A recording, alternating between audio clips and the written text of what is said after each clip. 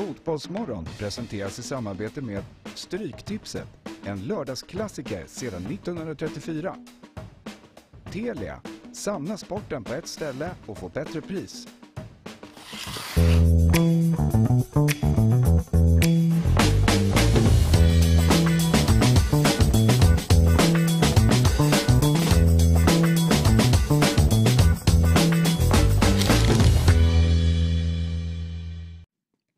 Då säger vi god morgon och varmt välkomna till Fotbollsmorgon. Jag heter Jesper Hoffman och jag är väldigt glad och stolt över att sitta här tillsammans med mannen bakom Sveriges bästa matpodd, Niklas Niemi. Ja, tack så mycket. Det, ja, det, Du ser det man är ju bakom så. Sveriges bästa division 7-lag, men det sa du inte. Nej, och de ligger ju faktiskt i division Ja, 6. ja, ja, som vi okej. ska, men snart i division 7. Ja, då blir de bäst i Sverige. Ja, då blir de ju bäst i Sverige. Ja. Eh, I alla fall tills serien startar. Ja. Niklas, du har klätt upp dig idag. Ja. För de som lyssnar så har du, jag tror att de som tittar tror till en början Tänker. att det är, tänker att det är en inte-tröja. Ja. För att hylla dem efter gårdagens eh, seger mot Milan med 2-0.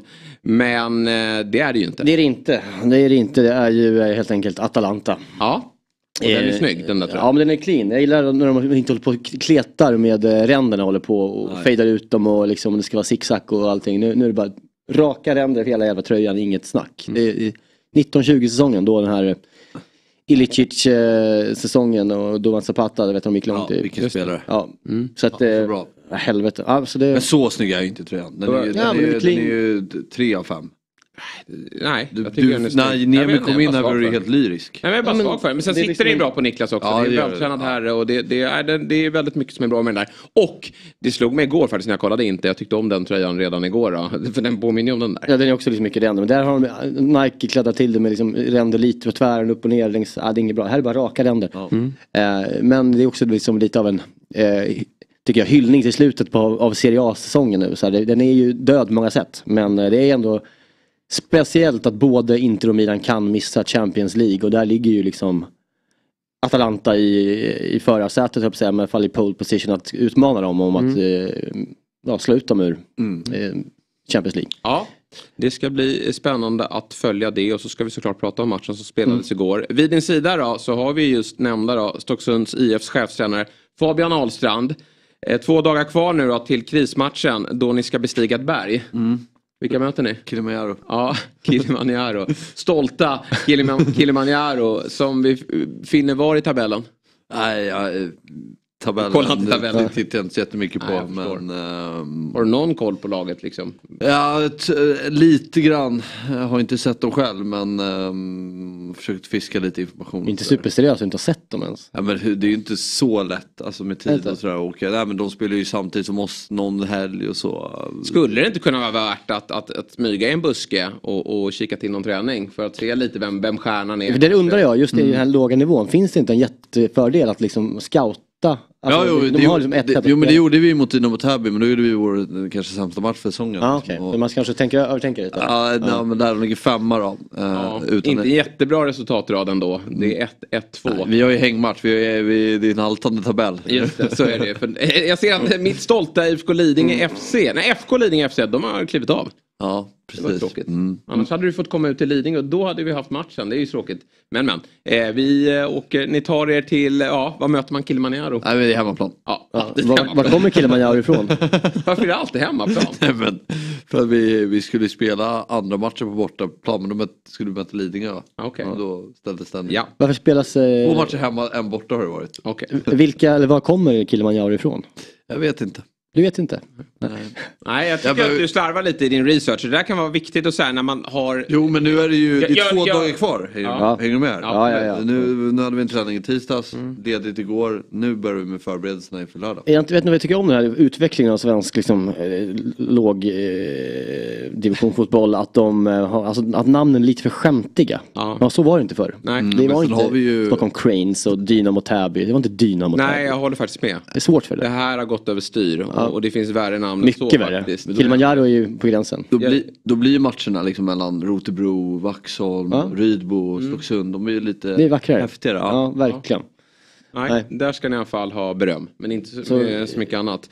Men jag tänker så här. eh, Jag såg ju när du eh, sträckte på Axel här i, efter programmet då, i onsdags var det. Det var väl igår? Mm. Nej, tisdags var det. Tisdags. Mm. tisdags var det. När ni pratade upp gårdagens match då. Milan-Inter och du ville att han skulle leva sig in mer i programmet. Och ta ton när det gällde just eh, Rafael Och sen fick han en rejäl skopa efter programmet. Ja. Det där vill jag se i omklädningsrummet. Och kanske redan ikväll då, att nu är det allvar gubbar. Nu är det dags att ta saker och ting på, på allvar. Vi måste växla upp här nu. För annars tappar jag jobbet. Ja. ja men det där är ju det där är en avvägning. Okej. Ibland kan du inte, du måste hitta den där. Nu kanske det är snarare tvärtom, ner med axlarna. Mm. Och, och kör. Hitta glädjen. Hitta glädjen. Men torsk nu mot Kilimanjaro och då blir det hårt tag på, på tisdag på träningen. Alltså den där hårtorken kanske redan har varit va? Ja, Och då känns det som att då kanske man inte ska göra den igen. Nej, nej. Eh, utan det gäller att hitta den där balansen va? Ja. Vi återkommer såklart till Stocksund och eh, krismatchen då på lördag mot Kilimanjaro. Vi har ett, eh, som alltid, bra program framför oss. Vi har ett nytt segment, 720, Ja, som heter Vem där? Vi får ju se lite hur det här ska gå då, eh, tekniskt sett. Men det kommer vara som så att en förvrängd röst kommer ringa in till oss. Vi har ingen aning om vem det här är. ni är en känd person i alla fall. Ja, en känd person antar jag. Annars Ja, blir det väldigt svårt. Ja. Men vi ska ställa frågor till den här personen som förmodligen har någon fotbollskoppling. Och så ska vi försöka ta reda på vem det är. Mm, jättekul. Ja. Och han, får han bara svara ja nej eller? Nej. Ja, han eller hon eh, får... Ja, nej, hon- nej. Nej. Kan nog hända. nej, Nej, det, det får du inte göra. Du det får säga vad du vill. Alltså, Ja. vi, får väl, vi får smarta ut ställa frågor. Eh, så helt enkelt. Det är upp till oss att eh, ja, Försöka lösa det här. l- luckra upp det här. Det blir ju jättekul. Ja. Jag bara hoppas att det funkar. Men, men det är ett test så ni får ha lite tålamod med oss.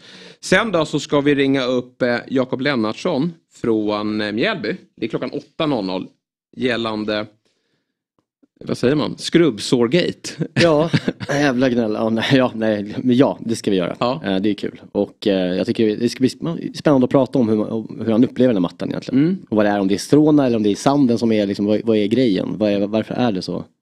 Jag tror att alla har tagit del av bilden då Ja. med Mjällby-spelare som efter matchen mot Hammarby. Har 20 sår, Hade- blodsår. Ja, det var lite så. Alla hade ganska rejäla köttsår. Och eh, Jakob Lennartsson då eh, gick ut med en tweet att eh, det här är inte den Där kommer fotbollen. Eh, men detta, detta är inte sporten jag älskar, så uttryckte han sig. Så vi får väl prata lite mer om honom och eh, hur, hur Mjällbys eh, spelartrupp mår då.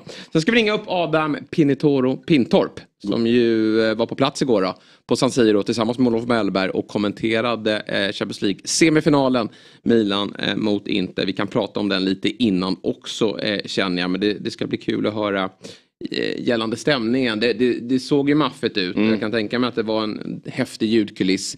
Men den är alltid svår att eh, uppfatta eh, korrekt från, från soffan ändå. Ja. Har du varit på Milan-derby? Nej, Nej, inte jag heller. Inte jag heller. det hade jag gärna Verkligen. bockat av. Det är många matcher man, Ja. man eh, har, har kvar att uppleva.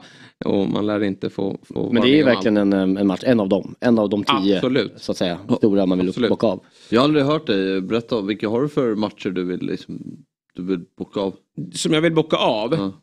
Eh, ja du. Det hade varit häftigt att se det. Det hade varit häftigt att se ett eh, Old Firm. Det hade varit, jag vet att det blir de enkla matcherna jag plockar här nu, Ja, men det. men det är Ja. väl så det är. Att man vill det. Och eh, ett grekiskt derby. Ja, Alla derbyn vill man Ja, man vill, liksom- Sevilla-derbyt Ja. vill man ju ta, man vill åka till Bocca, man vill eh, kanske Casablanca, alltså alla de här stora. Istanbul såklart, eh, i någon avgörande situation. Jajamän. Eh, Alltså det är väl där man är. Har, du någon annan som du har tänkt? Nej. Någon lite mer creddig match. Har du någon bakfickan?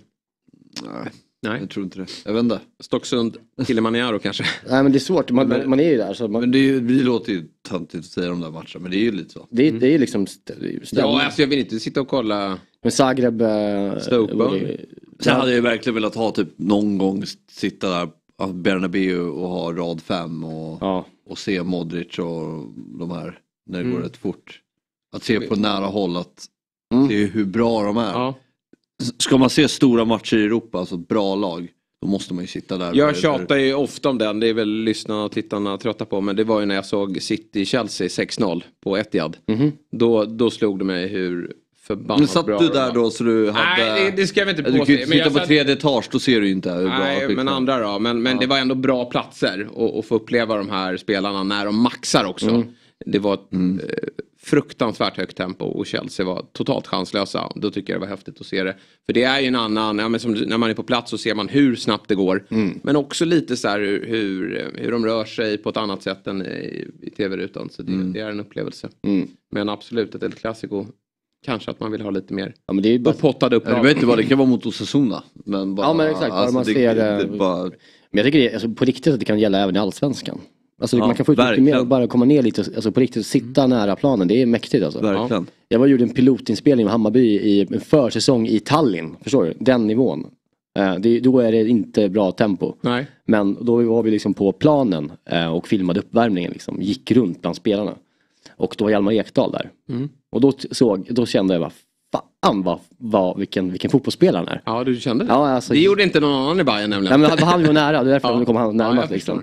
Eh, Men och de andra också. Och Oliver Dovin som mål, bara smäller när han kastar sig. Liksom. Så här, man bara kommer nära de här liksom, eh, som proffsens liksom, fan, fysiska djur som de har i sig. Eh, det är mäktigt att se. Absolut. Och funkar även i Allsvenskan. Ja, verkligen. ja det, det är ett hålla steg boll, upp. och hålla boll, höra bolltouchen och, Ja. och. Mm. Men det är klart, det är ju fördel då, då ska det gärna vara gräs. Ja, det tycker jag. Det det, hade, ju- jag. alltså det, är en sån med bolltouchen, det, det tycker jag, alltså, framförallt tillslaget, alltså Hjalmars tillslag på den, på den, det är en träning jag var på. Svårt att säga. Men alltså, han var ju överlägsen i, i liksom att slå crossbollar och, liksom, och sätta dem på, på läppen på allihopa. Då var jag ju Tankovic där och alla de här, det var ju liksom de, de, de åren. Nemi såg det som Bosse sen såg. Och sen som det Vince Company också eh, snappade upp. Alltid då. älskat honom. Ja, alltid älskat eh, Hjalmar Ekdal. Det gör ju vi här i Fotbollsmorgon. Men du, på tal om allsvenskan då, eh, Niklas, hur, hur mår Bayern Nej men det är väl katastrof såklart. Eh, total jävla haveri. Mm. Ja. Persien och, och Du låter som. Bajarna gör på sociala medier nu. Och, Nej men så är det. Ja. det känns hopplöst. Hopplöst på liksom alla sätt. Och liksom, det vill ju alla. Jag läste en lång text på Svenska fans.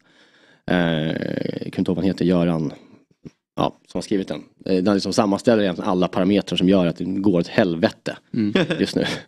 Och eh, ja, det är ingen kul läsning. Jag håller med i det mesta liksom. Och framförallt så är det väl inte, det är ju inte en, en trupp som som är anpassade för att liksom vara ett topp tre-lag. Det går inte. Nej, jag... Alltså det, det, Nej men du, nu får du vara tyst Det Fabbe. Fabbe får vara tyst för du, du har sagt det hela året. Nu får du ta ett steg tillbaka här och inse att du hade fel. För det är ju vad jättemånga tyckte innan också. Men sen att man blev lite lurad av kuppens gruppspel. Ja. Jag, tycker, jag tror att Jesper Jansson blev lurad där också. Att Ja, de han inte som- maxade mer. Ja, han pratar ju så jäkla mycket om att Arsenal... Maxade och, mer. Att de inte tog in fler hur mycket sp- har de inte spenderat? Fast de har mycket mer från förra kvar. sommaren. Vem är ersättaren Ja, men- till Berisha? Var Men- är ersättaren till Ja, Berisha? men titta hur, hur- mycket Den här pengar... Micke som springer runt, han springer Jo. ut ute till vänster och Ja, men det är kant. ingenting. Jo men det är ju för det är jätteinvestering av Hammarby. Ja, men det finns betydligt mer pengar att spendera. Ja men då, truppen. då, har de, då bränner de rejält kanske. Ja, det ska de men göra. ink- inkludera förra året då? Men framförallt är det väl... Travalli, Vagic, Majed. Jo Du har- absolut, du men det har- finns mer att... Eh, de, har- Men att- alltså, att Gers har ju lämnat, Ja, Ludvigsson har lämnat, Exakt, Bojanic har lämnat. dem- sälja men det var ju spelare som inte var Ja. viktiga tydligen för Hammarby. Men sälja, sä- sälja de poängen och den, och den liksom, eh, alltså, eh, statusen Ja. i truppen samtidigt och behålla Precis. en spelare kvar, Besara. Och inte förlänga med honom heller direkt utan att vänta med in det också. Och bara fylla på från HTFF. Och tänka att man är någon jävla Nordsjälland eller liksom Ja, Salzburg. precis. Och, tro att, och, han pratar om att Arsenal kan spela med 19-åringar. Ja det kanske de kan göra, men de är också bästa 19-åringar i världen. Precis. Det är inte, även om Majed, alltså jättebra 17-åring absolut, men det, det räcker inte. Nej. Vi måste ha lite liksom, bättre, liksom, faktiskt, nu hatar jag det ordet, men erfarenhet. I, Ja. Vi kan inte ha så unga spelare. Nej. Det är Bara. andra klubb. Nordsjälland har ju sitt upp... Där är alla liksom... eh, De har ju sålt in det här att vi är en, Vi en, är en klubb klubb. där vi ska säljas vidare och, och där är inte resultatkravet Nej, lika och- och där högt. går Men i jag- Hammarby nu, Då landar där du- är ju en förväntansbild. Ja, och då landar det tillbaka till vad är fotbollen och vem är den till för? Alltså jag, jag vill inte att det ska vara, vi ska vara ett jävla Nordsjälland som vi tar in 19-åringar, säljer för 70 miljoner. Och sen Alltså, det är väl ändå de. det man vill, att du vill ha egna talanger som kommer upp och som du... Men inte elva stycken. Inte bara, Nej, nej, men det är men, alltså, och, nej, men också, det är det som att man, man, jag blir irriterad på hur han framförallt, Jesper Jansson, pratar om Hammarby som, en, som en, en docka i ett spel för honom att visa att han är en skicklig sportchef. Han har, jag tror inte han har en enda tanke på att plisa supportrar som går på matcherna varje eh, match. Han vill eh, göra resultat och sen sticka. Men vadå, man har ju lagt ändå Det där jag. 20 miljoner för mycket. Sen man har lagt eh, Travalli förra året, Vagic, Majed och i år ehm, eh, Nalic, eh, Teke. Alltså det är ju inte- det är ju tunga investeringar man Ja, har det är gjort bänkspelare förra året, allihopa. Ja, nej men det är då, då man har Ja. spenderat mycket pengar Ja, man har ju misslyckats måste Ja. jag ju säga med, med, med flertalet värvningar. Alltså Jesper Jansson senaste år är ju otroligt skicklig på att sälja spelare. Ja, det får man säga. Det får Ja. man ju, där är han Verkligen. kanske nummer ett. Han verkar vara ruggigt bra på att förhandla men, men att plocka in ersättare har han inte varit lika lyckosam med. Och jag tycker att när man, eh, nu var inte Berisha en fullträff men det saknas ju någonting Men han där hade framme. ju funkat i år. Ja. Alltså han hade ju behövts i år. Han hade, alltså, hade, han, liksom, hade vi hållit i honom så tror jag ändå att han hade liksom, alltså, exploderat i år. Mm. Eh, med de andra unga som kommer upp så har man ändå den här trygga, erfarna målskytten som har gjort det skitbra liksom, i Norge och i Salzburg va? Nej, någonstans i Österrike var han, skitsamma. Mm. Men i alla fall någon som har gjort mål tidigare på den här nivån. Nu sätts de som derbyt är det största misstaget man gjort liksom mot, mot AIK. Ställer upp med tre. Jag har inte spelat på samma offensiva trea någon gång i den här. Och i- vilset. Eh, Ja. Så det, det känns, eh, det känns Nej, jag tycker svårt. också att det, det är någonting som vi och, och eh, äger mycket boll och, och, och lite sport heller. Och Nej, det, det finns det, det finns ingen, eh, nej det är ingen tyngd. Nej. Alltså Bayern, man känner ju ändå att nu har man haft ett tufft spelschema. Kliver in mot Mjällby här nu. Som visserligen har gjort det eh, bra. Men eh, då tror man att de liksom bara ska storma. Det var ju känslan, nu, nu kommer det blåsa Ja. på. Alltså, nu är det 5-0 liksom. Mm. Nu, nu, men det, det nej. Ja, det är något som inte riktigt slår rätt eh, till där då. Får vi återkomma till Ja. om det blir några förändringar också. Och det är tror du det? eh, Nej, det tror Nej. jag inte så mycket. Nej. Det är ju också sent fönster då, det är inte mycket att göra inför Europa. Alltså det är liksom, men, men ja, skitsamma. Ja. Det känns bara så, man känner sig lurad efter kuppen Ja. Med liksom både Majed och Teki och alla och, som kom in och liksom bara, och Erabi liksom som eh, ja, skärmade oss allihopa. Sen så händer ingenting. Nej. Och då är det svårt. Och nu var det otur såklart att vi har de här svåra bortamatcherna direkt. Med den här truppen som inte är en sammansvetsad trupp. Precis, nu har de ju blivit stukade. Ja. nu är självförtroendet på botten och det blir tufft även mot de här sämre lagen. Exakt. Som Bayern haft det så lätt med. Det är en dålig dramaturgi för, för liksom, säsongens skull för Hammarbys truppbygge. Så kan man säga. Verkligen. Du, ja men tufft för Bayern-hjärtat då. Men glädjande är ju att du har fått eh, rubriker här verkar det som. Att du har blivit lite av en fotbollsmorgonkändis har vi fått höra. Va? Vet inte vad det är som Viktor Enberg, vår eh, redaktör, har kuppat in i, i vårt eh, körschema här. Här, kändisar på stan. Mm. Jerka står på Medis tillsammans med alla andra stockholmare och har gött snack om vilken bar de ska besöka härnäst med Fotbollsmorgon-Niklas. Ja. Är du Fotbollsmorgon-Niklas Niemi eller är du Recept Tack-Niklas Niemi? Nej men jag, eh, det skulle säga, det, det har, ja, verkligen hybrid ska jag Ja. säga. Men eh, det beror på var man är i landet. Precis. Eh, Jag, jag var i Göteborg för några veckor sedan. Mm. Det var fan i december. jag. Ja. Men då, då, då var, det många som eh, kom fram och pratade om Fotbollsmorgon just. Mm, och sen så nu när jag var i Malmö förra helgen då, eller förra veckan. Varför? Ja, Valborg, jag kollade Bajen. Så var det väldigt mycket recept tack eh, Mm. och då var det mycket stockholmare. Vad roligt ändå för dig att det kommer fram folk som vill prata fotboll men också mat. För det är väl dina två största Ja det är ju perfekt. Ja. Ja. Det är precis så man vill ha det. Och Fabian Ahlsson, då blir ju följdfrågan till dig då. Vad är du? Är du Stocksunds IFs chefstränare eller Fotbollsmorgons... Ja, vad säger man? Pension... Fotbollsmorgons profilen, Fabian Ahlsson. Vad är du där ute? Ja. När du rör dig? ja. Det går ju lite ihop det där. Ja, det är både och. Ja. Fotboll vill de prata i alla fall. Ja. Mm, det gör man bäst tillsammans med Fabian Ahlstrand. Du har liksom en unik position i fotbollsmedia eh, Sverige. Att du både liksom är liksom ett, ansedd som ett, lite av ett taktiskt geni. Många Mm. har väldigt stor respekt för det. Allt från allsvenska tränare till liksom, ja, men många, Fabian, Fabian han kan fotboll liksom. Till också att du är liksom den största driftkuckun. i- Alltså du, är som en- du är en pajas också. Samtidigt. Det är unikt och det är bra. Men Mm. Ja, verkligen. Det Alltså, där du- tror jag, kan du bara få lite pondus, Ja. kan du liksom addera de tre delarna. Du kommer du att bli farlig där ute. Du kan gå från superanalytisk till en eh, dum, ett dum huvud på en sekund. Jag är inte så, alltså, när det kommer till fotboll är jag inte så analytisk. Nej men eh, jag, hade, jag, jag hade inte hatat om liksom Axén eh, har respekt för mig i, i fotbollskunnande. Nej, men exakt. Det har han. Nej, och det har han. Ja, Trots okej. att han gör sig lustig ibland. Ja, bara det är ju roligt. Ja, bara ibland. Ja, bara ibland. Hörni, nu är det dags då för vårt nya segment i Fotbollsmorgon. Vi har kommit till Vem där? Och vi ska ha med oss någon nu på tråden då som vi inte vet vem det är. Och vi ska helt enkelt bara via frågor och, och eh, våra diskussioner tillsammans med den här herren eller kvinnan försöka lista ut vem det är då. Jag ser väl siluetten i alla Så fall. vi säger eh, god morgon till, ja det vet vi inte. Är du med oss? Hallå hallå? Hör ni mig? Ja vi hör dig, eh, det gör vi. Det där var väl en kvinnoröst va? Kanske. Det borde vara det. Eh, jaha, som jag alltid gör när vi har gäster i Fotbollsmorgon så skulle jag vilja höra vad är din relation till fotboll? Ja, jag har spelat fotboll sedan jag var en liten grabb. Som nästan vi allihopa har gjort. Mm. Och jag, eh, jag är fotbollsspelare idag också. Är du fotbollsspelare idag också? Ja. Okej. Ja, Är- jag, har, är- jag har äran att spela fotboll idag, ja. Ja, jag tror inte det är en tjej längre. Nej, det verkar är en vara så kille. grabb framförallt. Ja, de har gjort det Eh, liksom hur, eh, hur har det varit att växa upp i Småland då? Har det varit fint? Ja, Småland är väl, eh, det är väl det finaste vi har i Sverige. Jag är ju från, från Växjö framförallt. Där är det ju helt underbart. Du är från Växjö alltså. Okej, spelar du i den högsta serien i, i Sverige eller är det någon annan division? Eh, jag spelar inte fotboll i Sverige längre. Jag är ju inte från Växjö, jag är ju faktiskt. Men eh, jag, eh, jag spelar fotboll idag, men inte, men inte i Sverige. Jaha, du spelar inte i Sverige? Okej, härligt. och du är inte från Växjö, du ljuger? Ja, de sa åt mig att ta någon fin dialekt här, så att jag försökte ändra någon dialekt. Så att nu blev det någon annan. Nu blev det någon småländska istället.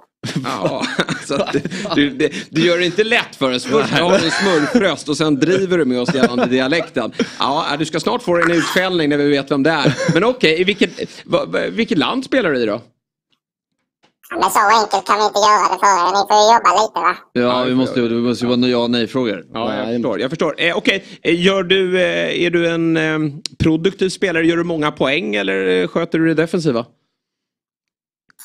Eh, lite mittemellan va. Ja, lite mittemellan där. Då låter det som en Mittfält- mittfältare okej. som är eh, utlandsproffs alltså. Eh, men som eh, pratar småländska men inte är eh, smålänning då. Ja. Har du någon eh, klubb du eh, har, håller varmt om hjärtat i Sverige extra noga som du kanske också har spelat för? Då, Eh, nej, nej, lite grann. Nå, någon mer än den andra, men inget speciellt va. Nähä, du har varit runt lite kanske. Eh, och så spelar du utomlands. Alltså jag, jag... jag är helt ställd. Jag försöker lista ut det, men det går inte! Nej, har du eh, fått representera vårt eh, svenska landslag någon gång då? Eh, ja, men ändå lite. Alltså- Ändå lite. Ja, ändå lite. Okej. Ja, Januariturné eller? Ändå, ja, men ändå, ändå inte. Jaha, Inte lite, ni får ju lyssna för fasen. ja, okej. Spelar du i den ungerska ligan? För fan Fabbe, varför måste du komma med den direkt? Ja, det är väl klart att jag gör det. Ah, nu vet vi vem det är. Snyggt Fabbe, såklart att det är Fabbe som läser det. Jag tror vi säger god morgon och välkommen till Fotbollsmorgon Jonathan Levi. Tja, tack så Där har vi dig! Ah, Briljant alltså. Alltså. Briljant. Hur är läget? Jo det är bra, vad fan de säger till mig att jag ska ändra dialekt. Det är Ja. inte så jävla lätt. Alltså, jag Nej, men det var- Stockholmska kan man inte så det får bli någon småländska. Men du, så mycket skruvade du inte på den ändå? Jo, för helvete. Det, Nej, det det- alltså. det var bra. Ja, Jo, verkligen det bra. var bra. Det var, det bra, eh, bra småländska. Men jag tror... Ja, riktigt bra. Riktigt bra.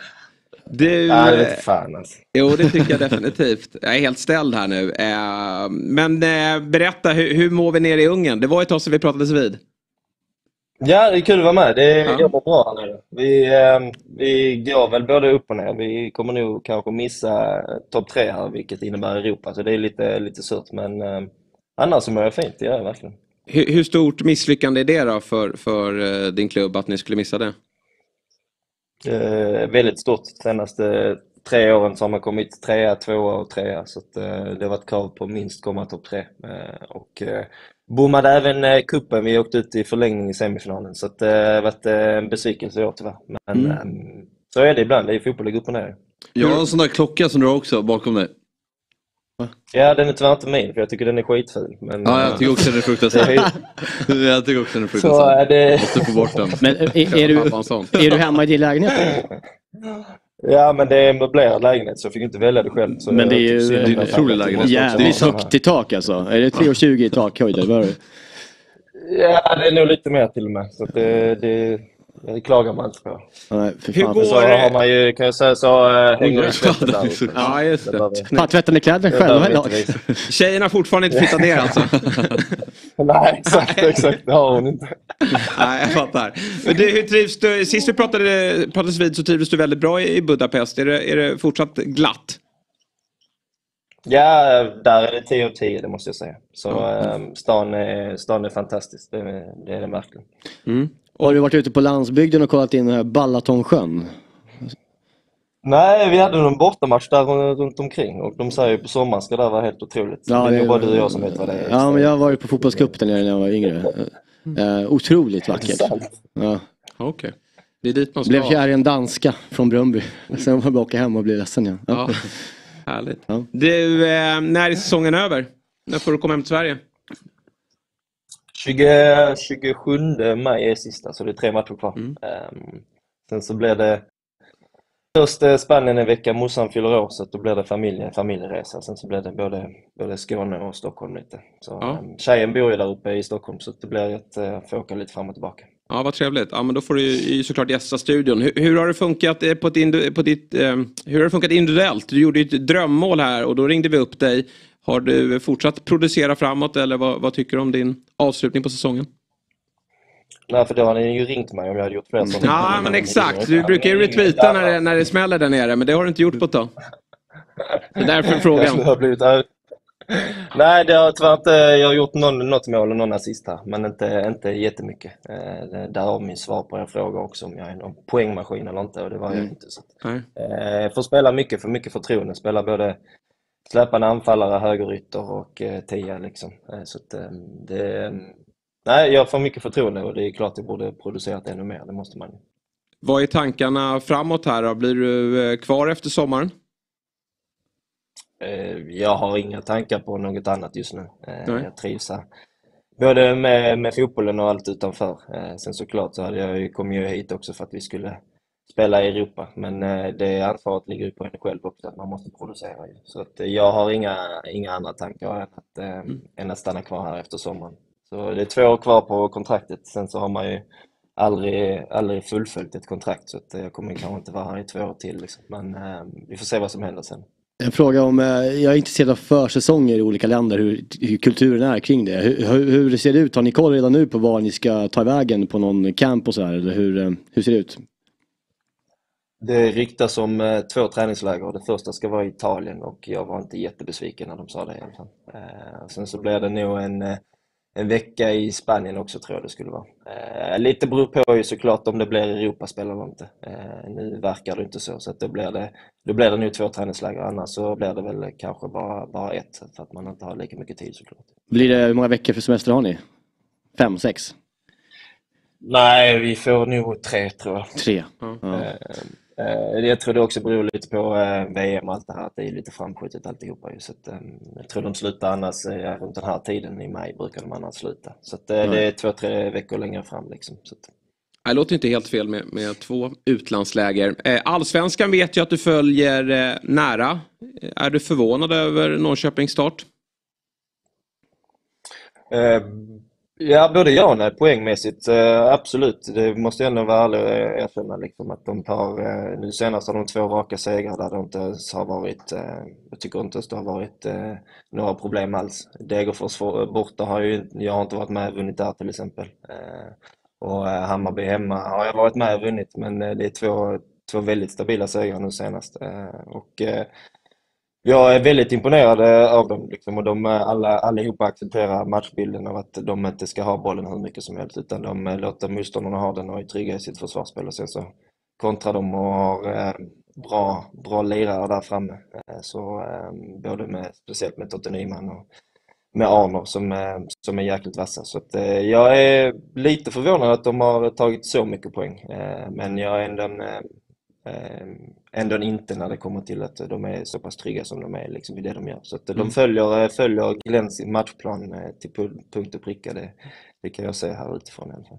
I toppen så ångar ju Malmö på. Har ju vunnit eh, samtliga matcher. Är allsvenskan avgjord? Eh, de blir jäkligt starka även om jag trott att Häcken också ska kunna utmana. Eh, så eh, det är bara sju omgångar men jag knyter näven lite att ni i Stockholmslag inte riktigt är i närheten. Det är faktiskt ganska kul om jag måste vara, om jag får vara ärlig. Långt kvar. Det, ty det, tycker jag också när det går åt helvete för Bayern, att det går åt helvete för de andra. Det är perfekt. Det är ja. underbart. Det är, det är ett bra mellanår då, för, för klubbar som ja. AIK då, som ska bygga om allt och skicka ut varenda spelare när, när övriga klubbar eh, går lite kräftgång. Även om de Djurgården vann senast här och, och, såg bra ut så de kanske lyfter nu då. Ja men var lite lugnare, det är inte mellanår. Det är ju fortfarande nere, nere. Ni ska ta er uppåt. Ja, absolut. Ja, nej, men det får vi se om de gör. Tack Jonathan för att du avslutade med de där orden och påminde mig om hur det går för mitt kära AIK.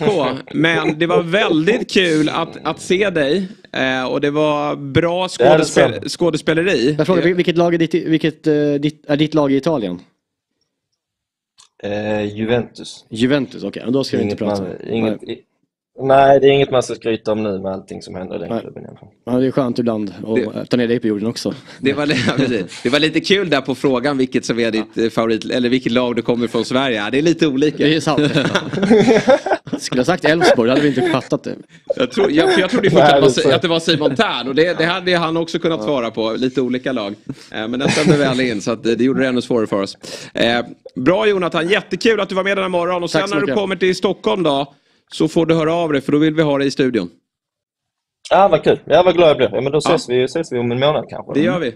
Och lycka till nu i avslutningen. Tack snälla. Ha Så det är bra. så. Hej hej.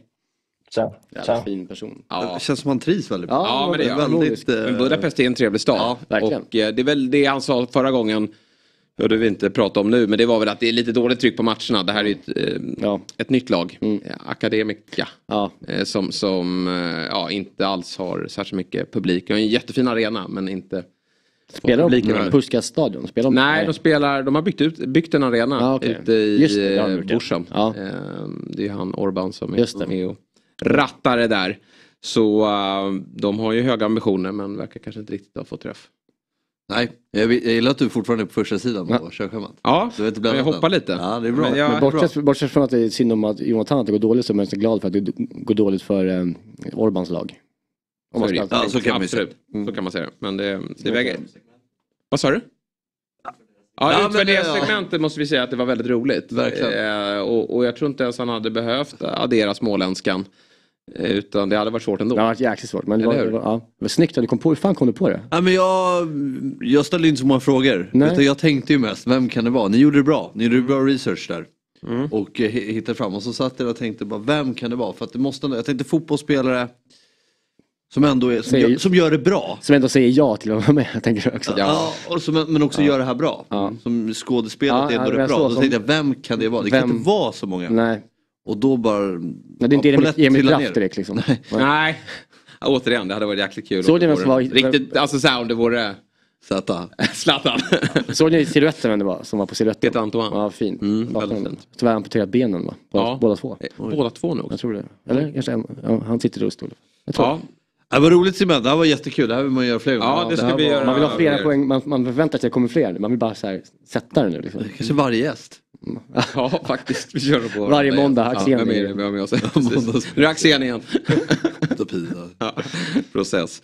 Bra, vi är fortfarande då på, på vår eh, startsida här när det kommer till körschema. Det är den 11 maj idag. Vilket ju är chokladbollens dag då.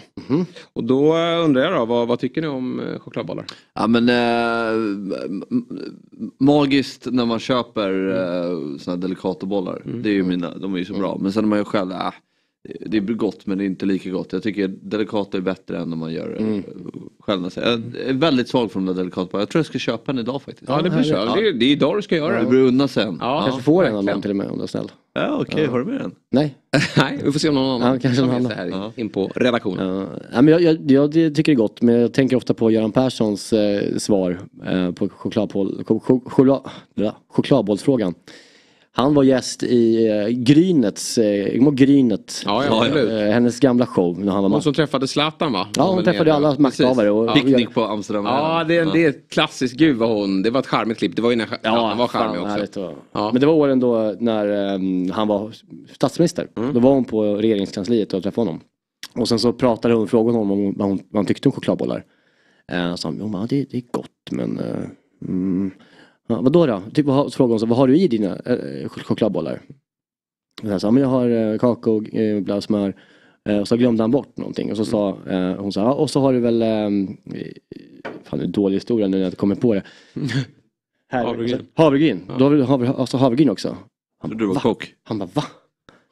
Nej, det är så vasst. Va? Så konstiga. Märkligt Så svar. jävla konstig anledning. Ja. Alltså, alltså, när jag tycker alltså, havregryn är vasst. Ja. Ja. alltså det är enda relationen till det. Det är att Göran Persson tycker att det är vasst. Ja, det, men eh, det ska väl vara, det måste väl vara havregryn? I Ja, alltså, ja. Eller det han vet vad han gör. Nej. Sen då berättar han. Då, då tar han då tar han kakor och smular ner kakor i eh, smeten. Så att han får lite mjukare kaka Märkligt. det. Men jag har svårt att se att han bakar chokladbollar. ja, men han hade en, ändå, han Ja, han det. hade en utläggning till det. Ja, Ja. Så att han borde... Grynet, vad gör hon det. idag? Nej men hon eh, kämpar väl på. Mm. Jag vet faktiskt inte. Ja, väldigt. Jag har inte sett det klippet, men Zlatan-klippet har jag sett, jag vet inte hur många gånger. Det, är, fin- det är fortfarande någonting med det där klippet. Mm. När man, liksom, man minns tillbaka, det är dels den här presskonferensen när han inte tycker om champagne, när han presenteras för Ajax. Ja. 80 miljoner, den kommer ni ihåg antar jag. Mm, ja, ja. Och sen så eh, när han eh, bjuder in henne där och ja, han är bara härlig och Då hade han sitt. Zlatan-leendet var på plats. Ja, men verkligen. Vi har dessutom väldigt många fotbollsspelare som fyller år då. Vi ska ha lite en quiz här, tänkte jag. Ja, vad roligt. För att ta reda på det, vilka då som fyller år. Eh, och, eller så Eller har här, du sett? en som är född eh, 1984 då. Ja. Ska ni få gissa om han fortfarande spelar. Ja, ja, det tror jag att jag gör. Eh, Andreas Iniesta. Han spelar ju. Nej, han la av precis i år. Han är tydligen fortfarande aktiv, eller? Jag tror- jag trodde han la av i- på- han är väl i Japan? Ja. Jag trodde, jag trodde han la av, att det var en sån grej. Nu lägger Han lirar.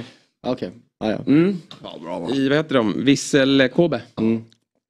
Ska han vara fortfarande aktiv Okej. enligt våra uppgifter Ja, men då Men, det är möjligt att han Nej, har bara- deklarerat att de Tyckte jag såg en sån över. med det. Kungen har tvåfotaren. Ja. Det finns ingen man tänker så mycket på när man, som honom när det kommer Nej. till en tvåfotare. Avgjorde- Kanske han kan bli som nya Cruyff-finten. Kan bli Iniesta-finten. Mm. Kungen också var antikarisma. vis. Ja, verkligen. Alltså, Vilken på den nivån. jävel. alltså. Ja, men alltså på den, på den nivån alltså. han ändå var. Ja, nej, jag, sett får, jag kan inte ta, mig, ta honom till mig. Nej. Det är helt omöjligt. Ja. Och vi ska prata om det lite, men eh, Sergio Busquets Ja. eh, slutar ju nu att spela Ja. fotboll. Också. Också totalt Ja, ointressant. Eller hur? Ja, alltså, när folk ska sitta och skriva om att han är bäst i världen, det var han säkert, men jag skiter fullständigt i honom. Efter Messi och Ronaldo är han väl nästan trea. 13, Vad fan pratar de om? Vad- Vadå? 15 år Nej. nästa. Sluta. Ja men vad då? Från 2010 och framåt?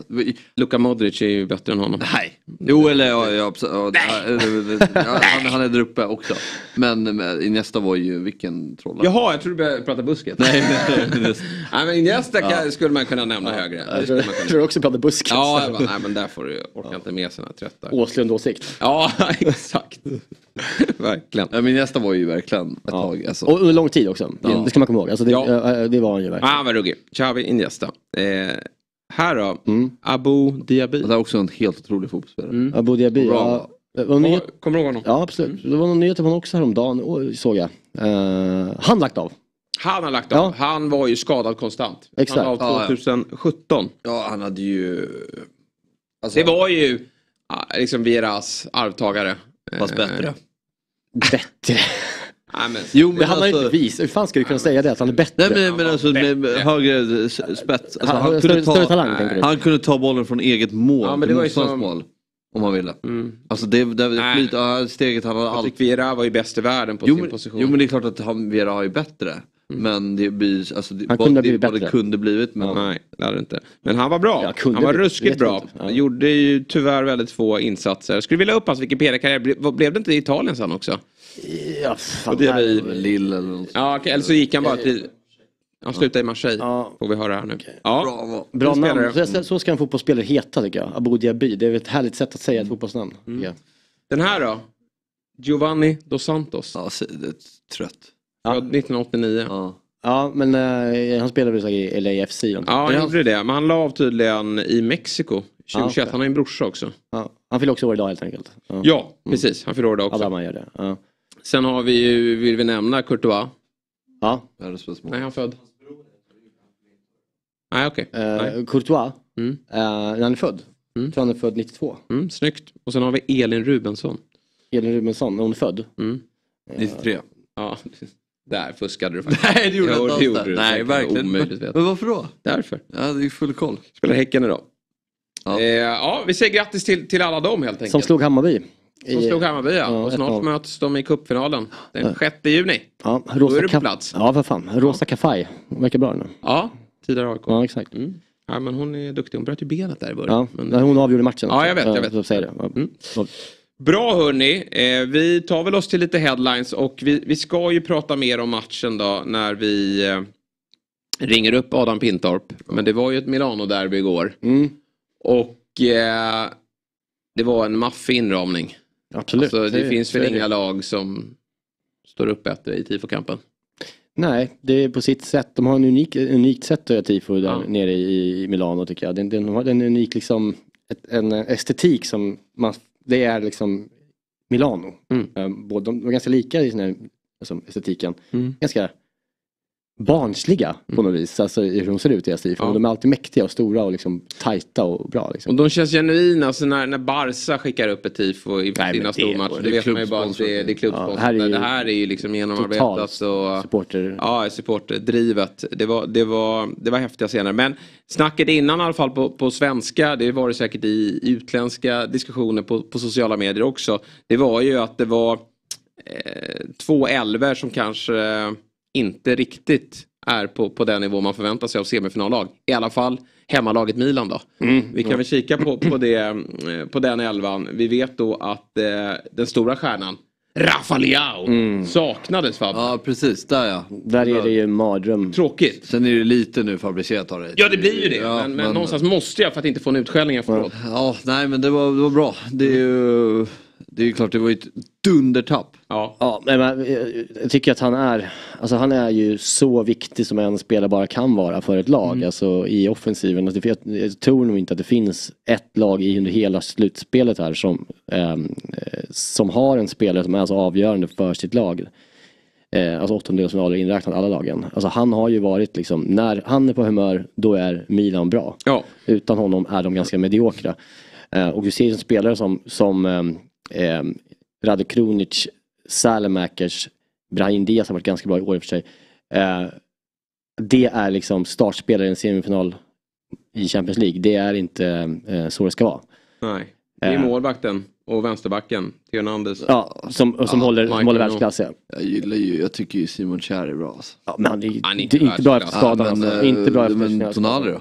Tonali är ju skön med. Nej, det finns bättre centrala med. Men han, jag gillar ju honom. Alltså, Ja, nej men det, det och, och här, samma sak i, liksom, i bytena som görs i Milan. Liksom. När Salemakers går ut, ja, men då tar man in liksom, en Origi. Eh, Alltså vad är det för jävla nivå? Nej, Eh, finns det varken Ben- spets eller bredd. Benazer är ju en, en, en, en bra Serie A-spelare. Eh, Går sönder direkt. Mm. In med Junior Messias. Liksom. Ja, Alltså, han håller ju inte måttet.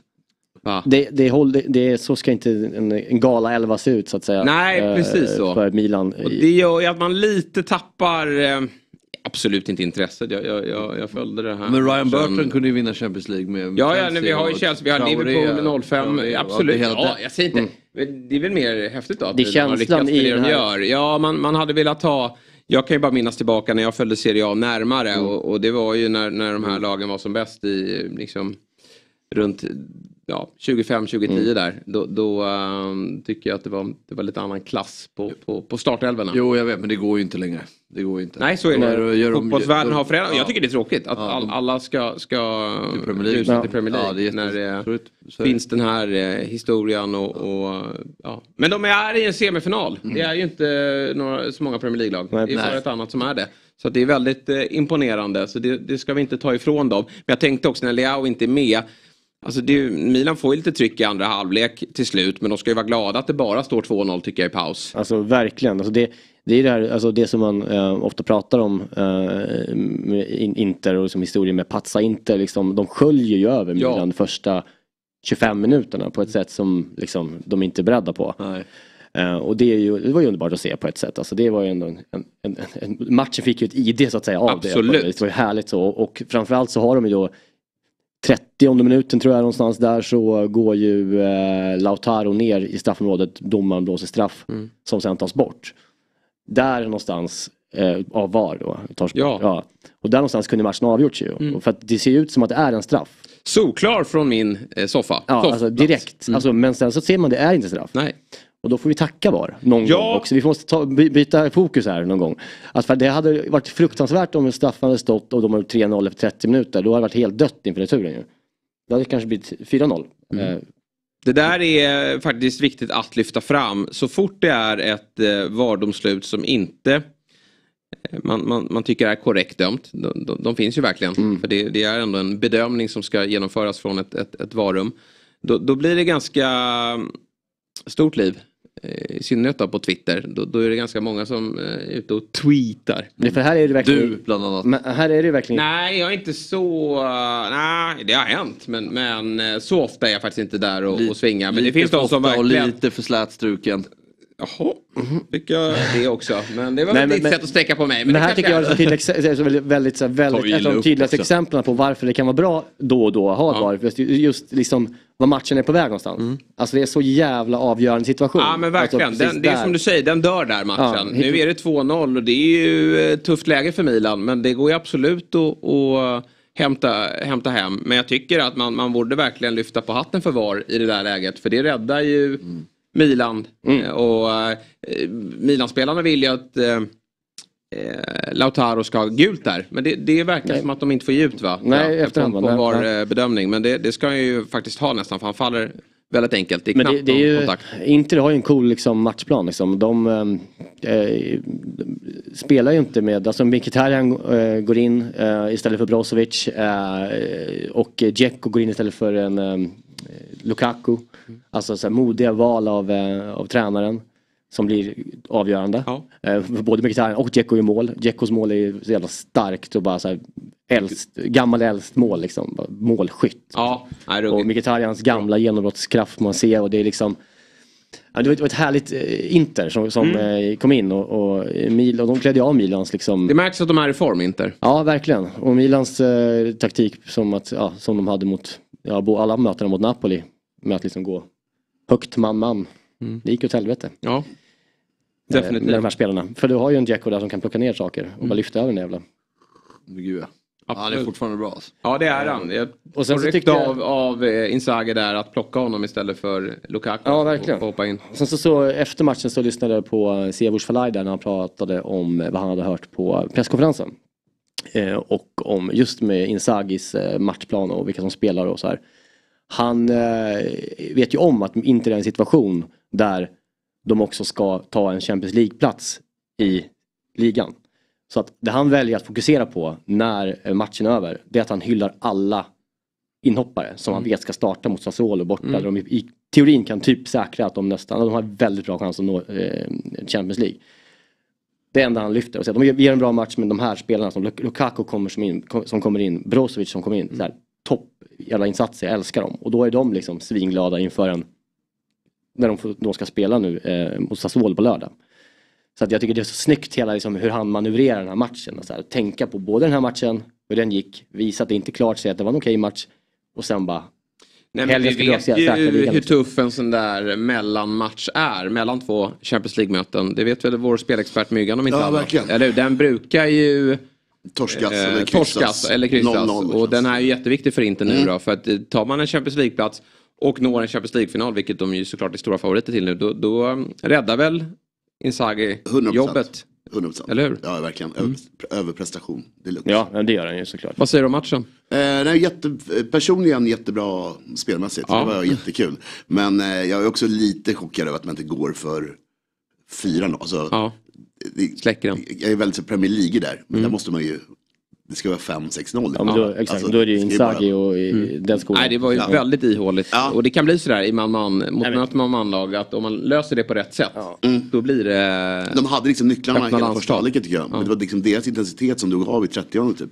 Men nej, som sagt var, det var jättesnyggt spelat och Ja. alltså 2-0 är ju hur bra som helst. Så, Men Tomori och Kjär är ju katastrofen hela matchen. Ja, den här Tomori de har målat upp hela tiden. Jag, jag, jag känner... Han gör det bra i Serie A, Du, har inte sett matchen för du kollar inte fotboll. Calabria men, också- men han är inte bra i den här matchen.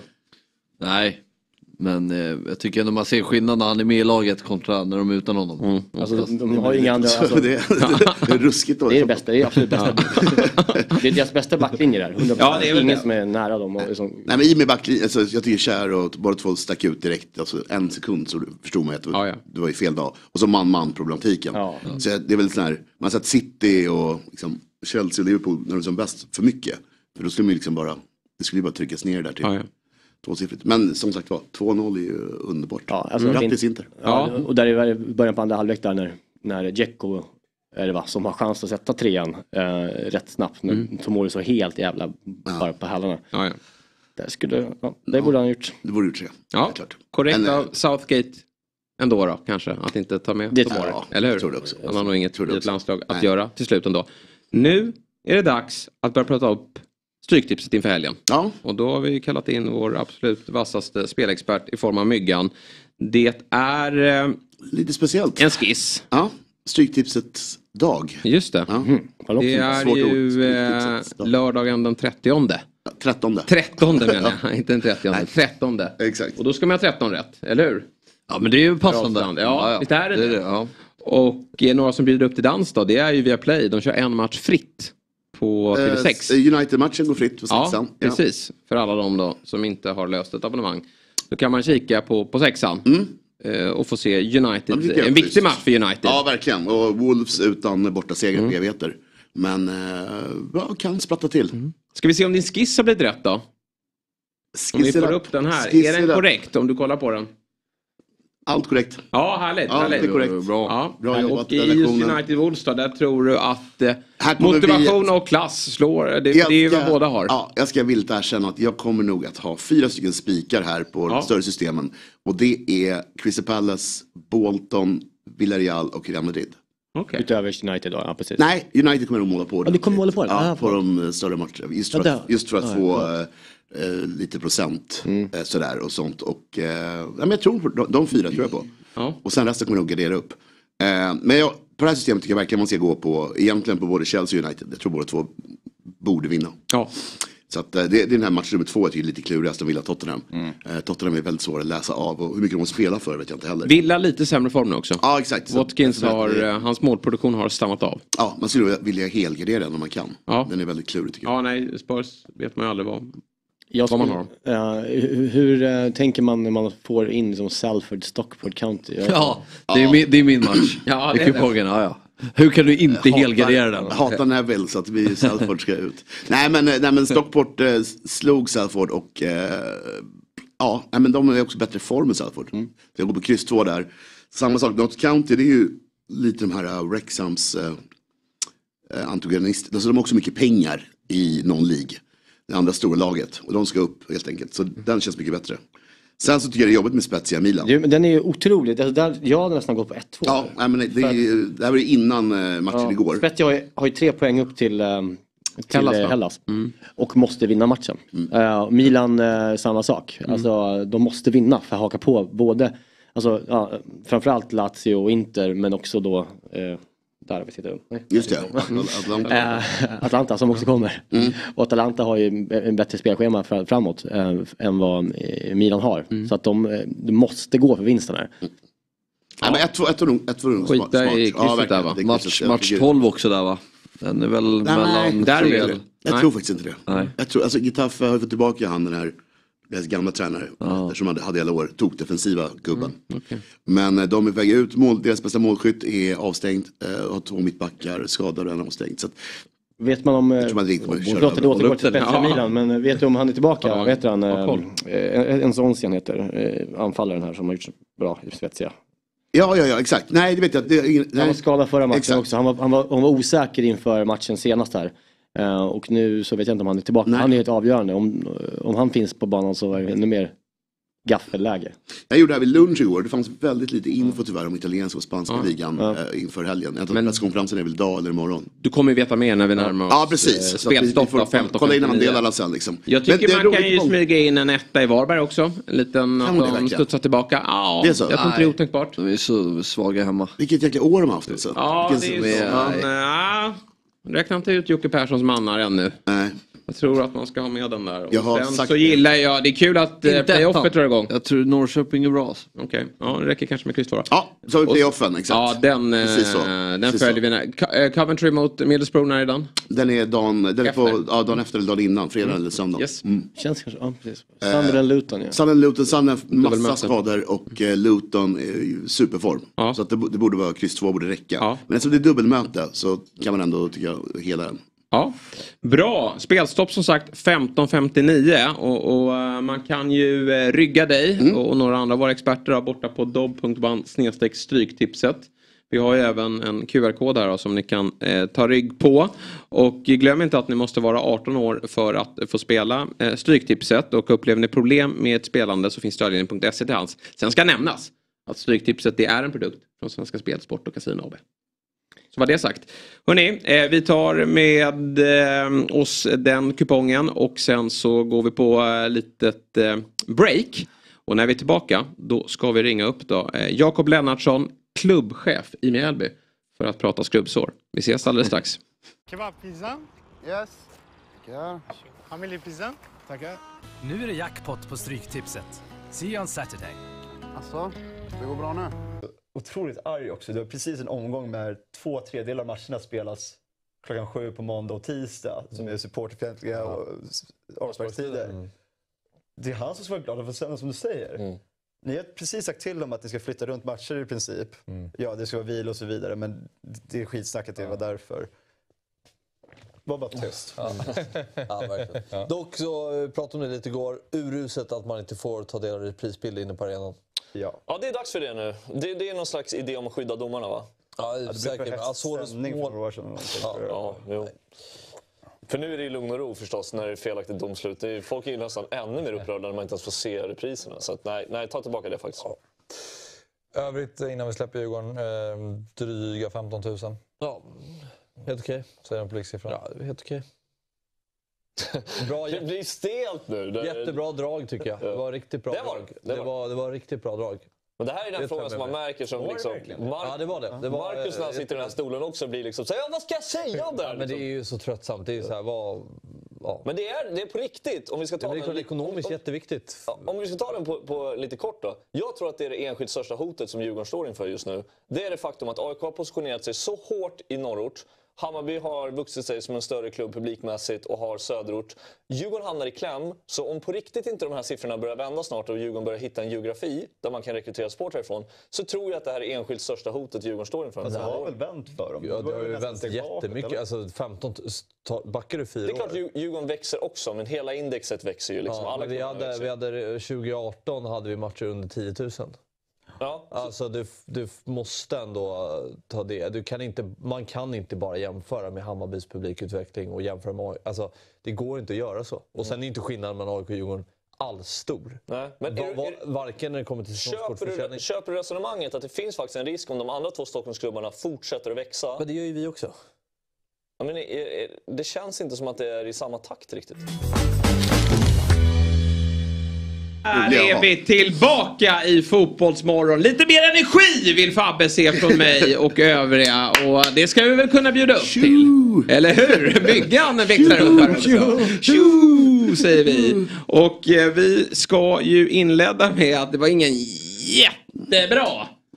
Eh, jag, gick som, jag gick till break på ett dåligt sätt. Att vi ska prata skrubbsår. Det kanske inte låter så roligt. Jo, det är ju spett- Ja, det är ju den eh, heta snackisen just nu i fotbollssverige.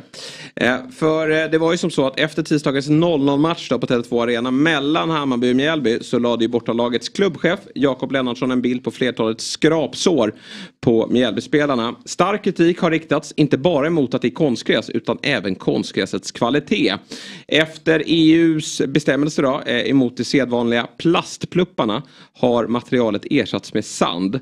Och att arenan lider av dräneringsproblem eh, likställer Lennartsson, eh, och efter att arenan lider av eh, dräneringsproblem så likställer Lennartsson planen med en grusplan. Och då gör vi som så här i Fotbollsmorgon att vi ringer upp den eh, aktuella personen. Så vi säger god morgon och varmt välkommen då till Fotbollsmorgon, Jakob Lennartsson. God morgon, god morgon. Du, eh, hur har reaktionerna varit på den här tweeten som du skickade ut efter 0-0 mot eh, Hammarby borta där du skriver ledsen Tele2, det här är inte sporten jag älskar. Ja, man får väl alltid som någon form av offentlig person i fotbollssverige får man ju passa sig lite vad man skriver. Jag, jag kunde väl kanske varit lite mer kritisk, men det blev någon form av emotionell tweet där jag pratade om min fotbollspassion, eller skrev om min fotbollspassion, kanske mer än att rikta kritik mot Tele2. Men eh, reaktionerna blev ju kanske lite större än jag trodde eh, och har någon form av så här, okej, var det bra eller dåligt att lägga ut det? Men jag tror att i slutändan så, så har det väckt en diskussion som jag tror ganska många, både klubbmedlemmar och supportrar tycker det är bra att den drivs. Eh, Så att, ja, det har väl blivit, den blev väl ganska stor får vi säga. Hur arg var du? Inte alls arg. Jag var faktiskt, när jag skickade den var jag mest, eh, mest glad att vi hade eh, tagit en poäng och stått för en bra prestation. Sen, sen är det väl alltid så när man har ett enormt fotbollshjärta som, som så har så, när det kommer saker som stör det så, så blir man kanske mer ledsen och rädd att vad är vi på väg mer än att någon ilska. Ja, alltså så här, kritik mot eh, eh, konstgräs det har ju funnits ganska länge i, i svensk fotboll. Men eh, som, som, som läget är nu så behöver kanske vissa arenor ändå eh, ha det. Även om kanske för många eh, också nyttjar möjligheten. Men det här är ju något nytt ändå. Alltså den här typen av underlag. Vi har ju hört en del kritik just mot Tele2s nya matta. Vad, eh, vad säger du om den? Är det det sämsta underlaget ni spelat på eller? Alltså det, rent så här eh, spelmässigt så, så, eh, ehm, så, så är den väl liksom helt OK. Det är väl inte där den, den faller riktigt om du jämför. Man drog ju liknelsen med Värnamos match, men där någonstans så handlar det om att en, en boll har svårt att rulla. Det, det, det klarar den ju här. Här blir det ju nästan ett arbetsrättsproblem. Att, att spelare ska skada sig så fort de inte står upp. Men jag har varit tränare i division 3 en gång. Då spelade jag på Araby konstgräs i Växjö. Och den, den, den har jag alltid med mig som referens och då var den här världsklass. Men eh, eh nej, det, det, är klart att det, det blir mer en, en, en arbetsrättsfråga än en kvalitet i bollrull. Är det något ni skulle kunna tänka er att, att gå vidare med det här problemet? Liksom, har ni pratat ihop er övriga klubbchefer inom SEF eller vad, vad, hur går snacket? Alltså att, att, att vi ska lägga Mjällby AIF framgångsrika för att man har lagt eh, sin tid och sin energi och sina pengar på rätt saker. Att vi ska driva denna fråga när vi spelar där tre timmar på ett helt år, eh, det kommer vi inte göra. Sen pratade jag med Hammarbys klubbchef igår bara för att liksom säkerställa att det här inte var någon form av storm mot Hammarby. Och han förstår ju det och vad jag förstod på honom så driver de denna frågan eh, själv. Jag har också förstått att detta är någonting som diskuteras och ska åtgärdas. Så det är väl, det är väl positivt. Ja absolut, det ska vi komma ihåg att Djurgården och, och Hammarby är hyresgäster där så det är liksom ingen kritik mot dem och de vill nog inte heller spela där. För, för dem är det ju problematiskt för de ska ju spela väldigt många matcher där.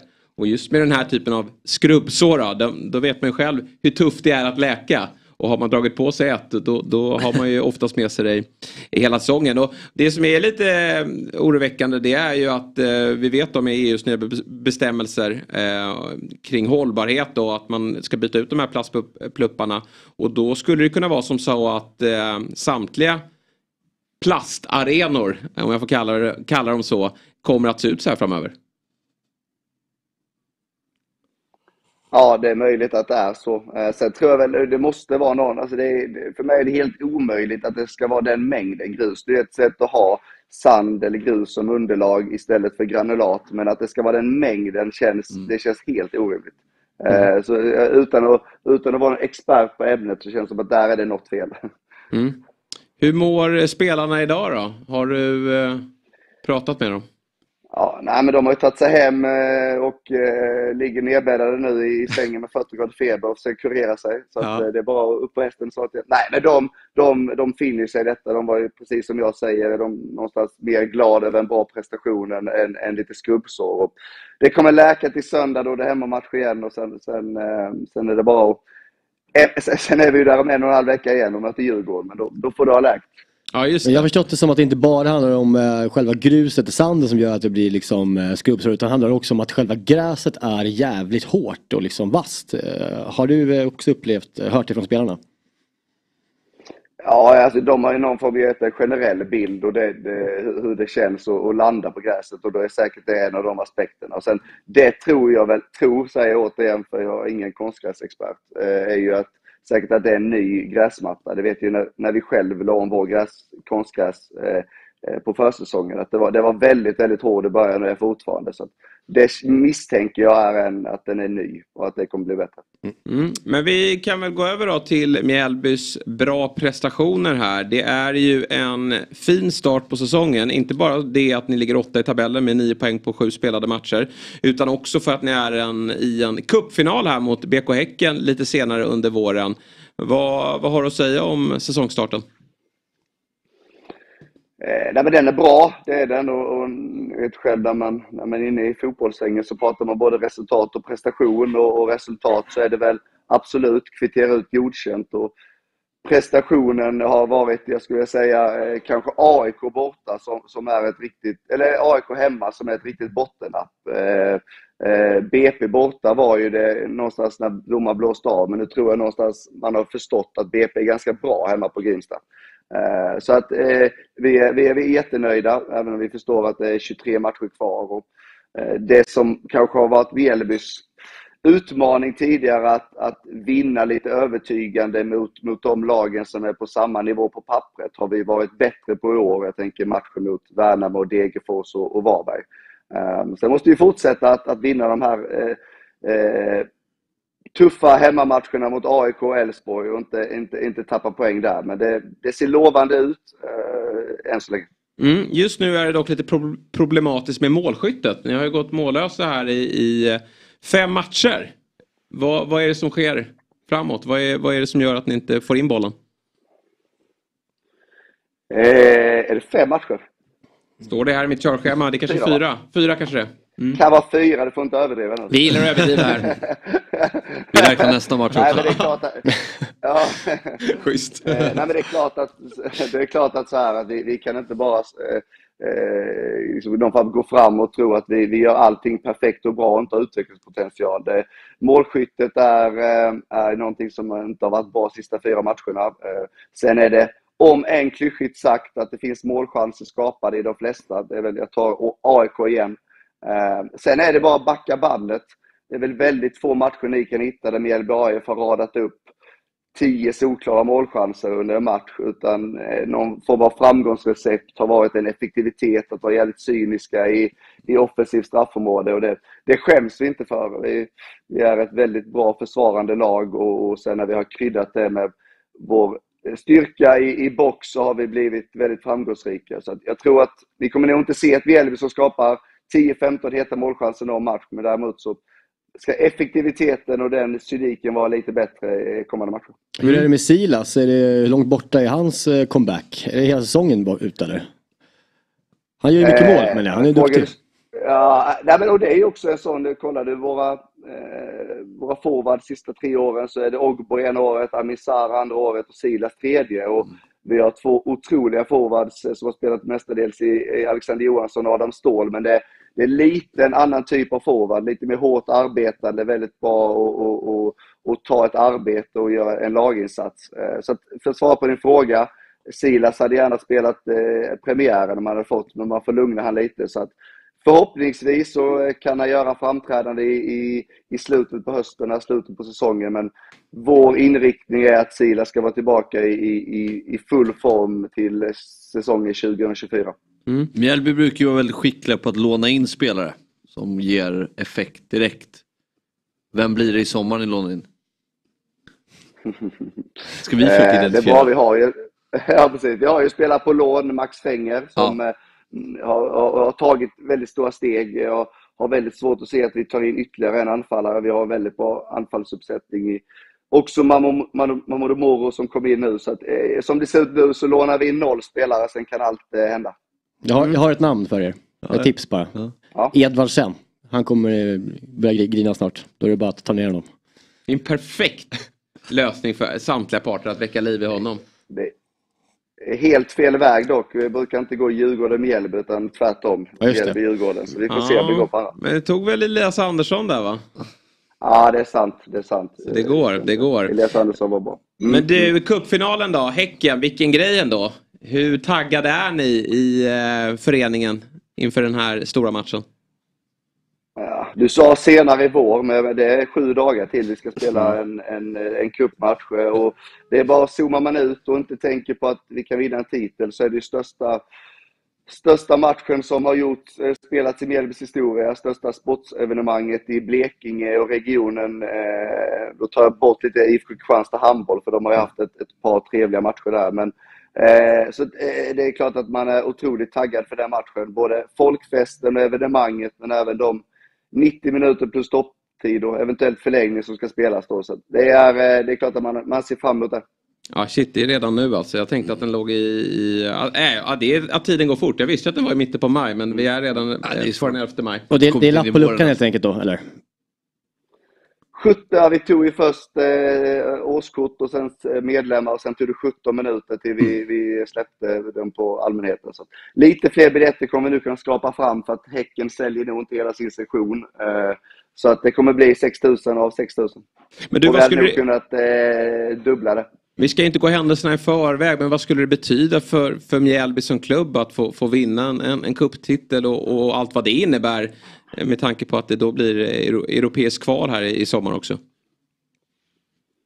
Det skulle innebära eh, otroligt mycket arbete att få eh, Strandvallen Europa-redo. Men eh, det är klart att jag har stor respekt. Vi ska möta Sveriges i särklass näst bästa lag, vilket är Eh, en, en otroligt eh, tuff uppgift där vi kommer gå in som kraftig underdog. Så att, eh, men, men skulle vi någonstans nå den där titeln så, så är det klart att det hade betytt väldigt mycket. Det hade betytt framgång, det hade betytt någon form av eh, historisk eh, milstolpe som, som vi troligtvis aldrig kommer nå igen, eller i alla fall eh, väldigt få tillfällen. Så att det betyder mycket. Sen någonstans vill jag ändå säga att oavsett utgången så kommer detta betyda väldigt mycket för Mjällby AF, att man, att man når dit. Det har gjorts eh, att ta, ta, sig, ta sig över tuffa hinder som Hammarby, Kalmar, Sirius och, och någonstans stå här en, en rejäl framgång bara det. Och skapa ett väldigt intresse för, för barn och, och publiken runt om här.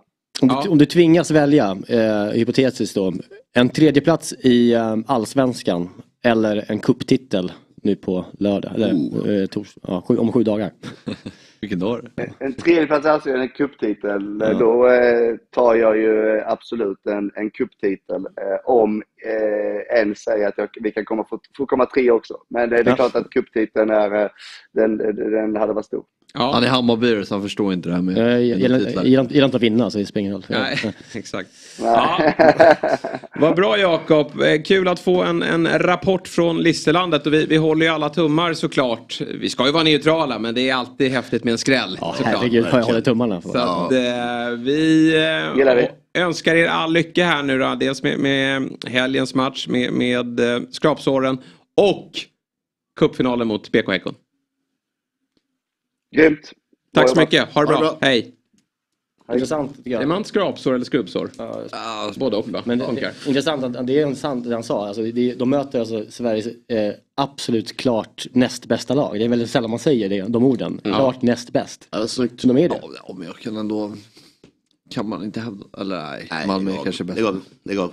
Ja, man, ja, nu, det är bra Myggan att du har börjat kliva in. Jag känner att jag liksom får dra lasset att hålla honom i, i styr. Alldeles, liksom, det börjar bli jobbigt och då är Myggan här och börjar rätta det. Han har också börjat inse att Det är så rörigt. måste ge dig en vägledning. Ja, men det är 23 matcher kvar. Ja men här och nu då? Ja, ju, Malmö är, ja, Malmö är lite bättre. absolut. Och de möts ju snart. Ja, det... Framförallt så är Det är väl på söndag va? Nej, Nej nästa söndag. Och då har Häcken haft en cupfinal. Men om man, om man, eh, liksom, möts. om man tar det han sa så är de ju verkligen, om de nu, om vi är överens att de är näst bäst, så är de framförallt klart näst bäst. Mm. Ja. ingen Ja, ja, som är ja. liksom Nej. nära. Men det var att- jättebra. de trea.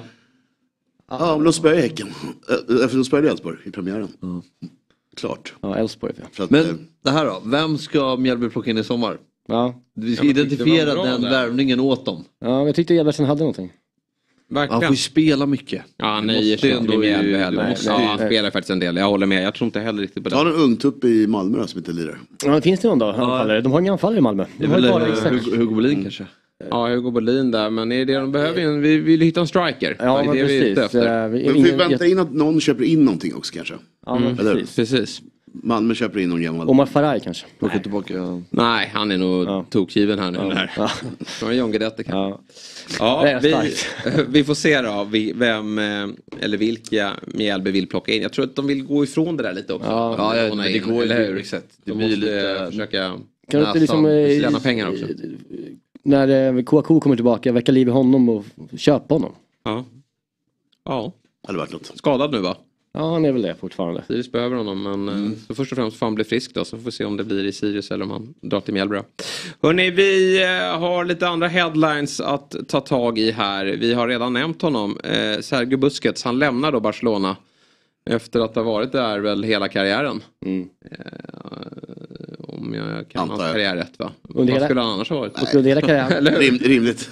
Va? Han har också heller inte under sin karriär haft en enda produkt i håret. Nej, det har han inte haft.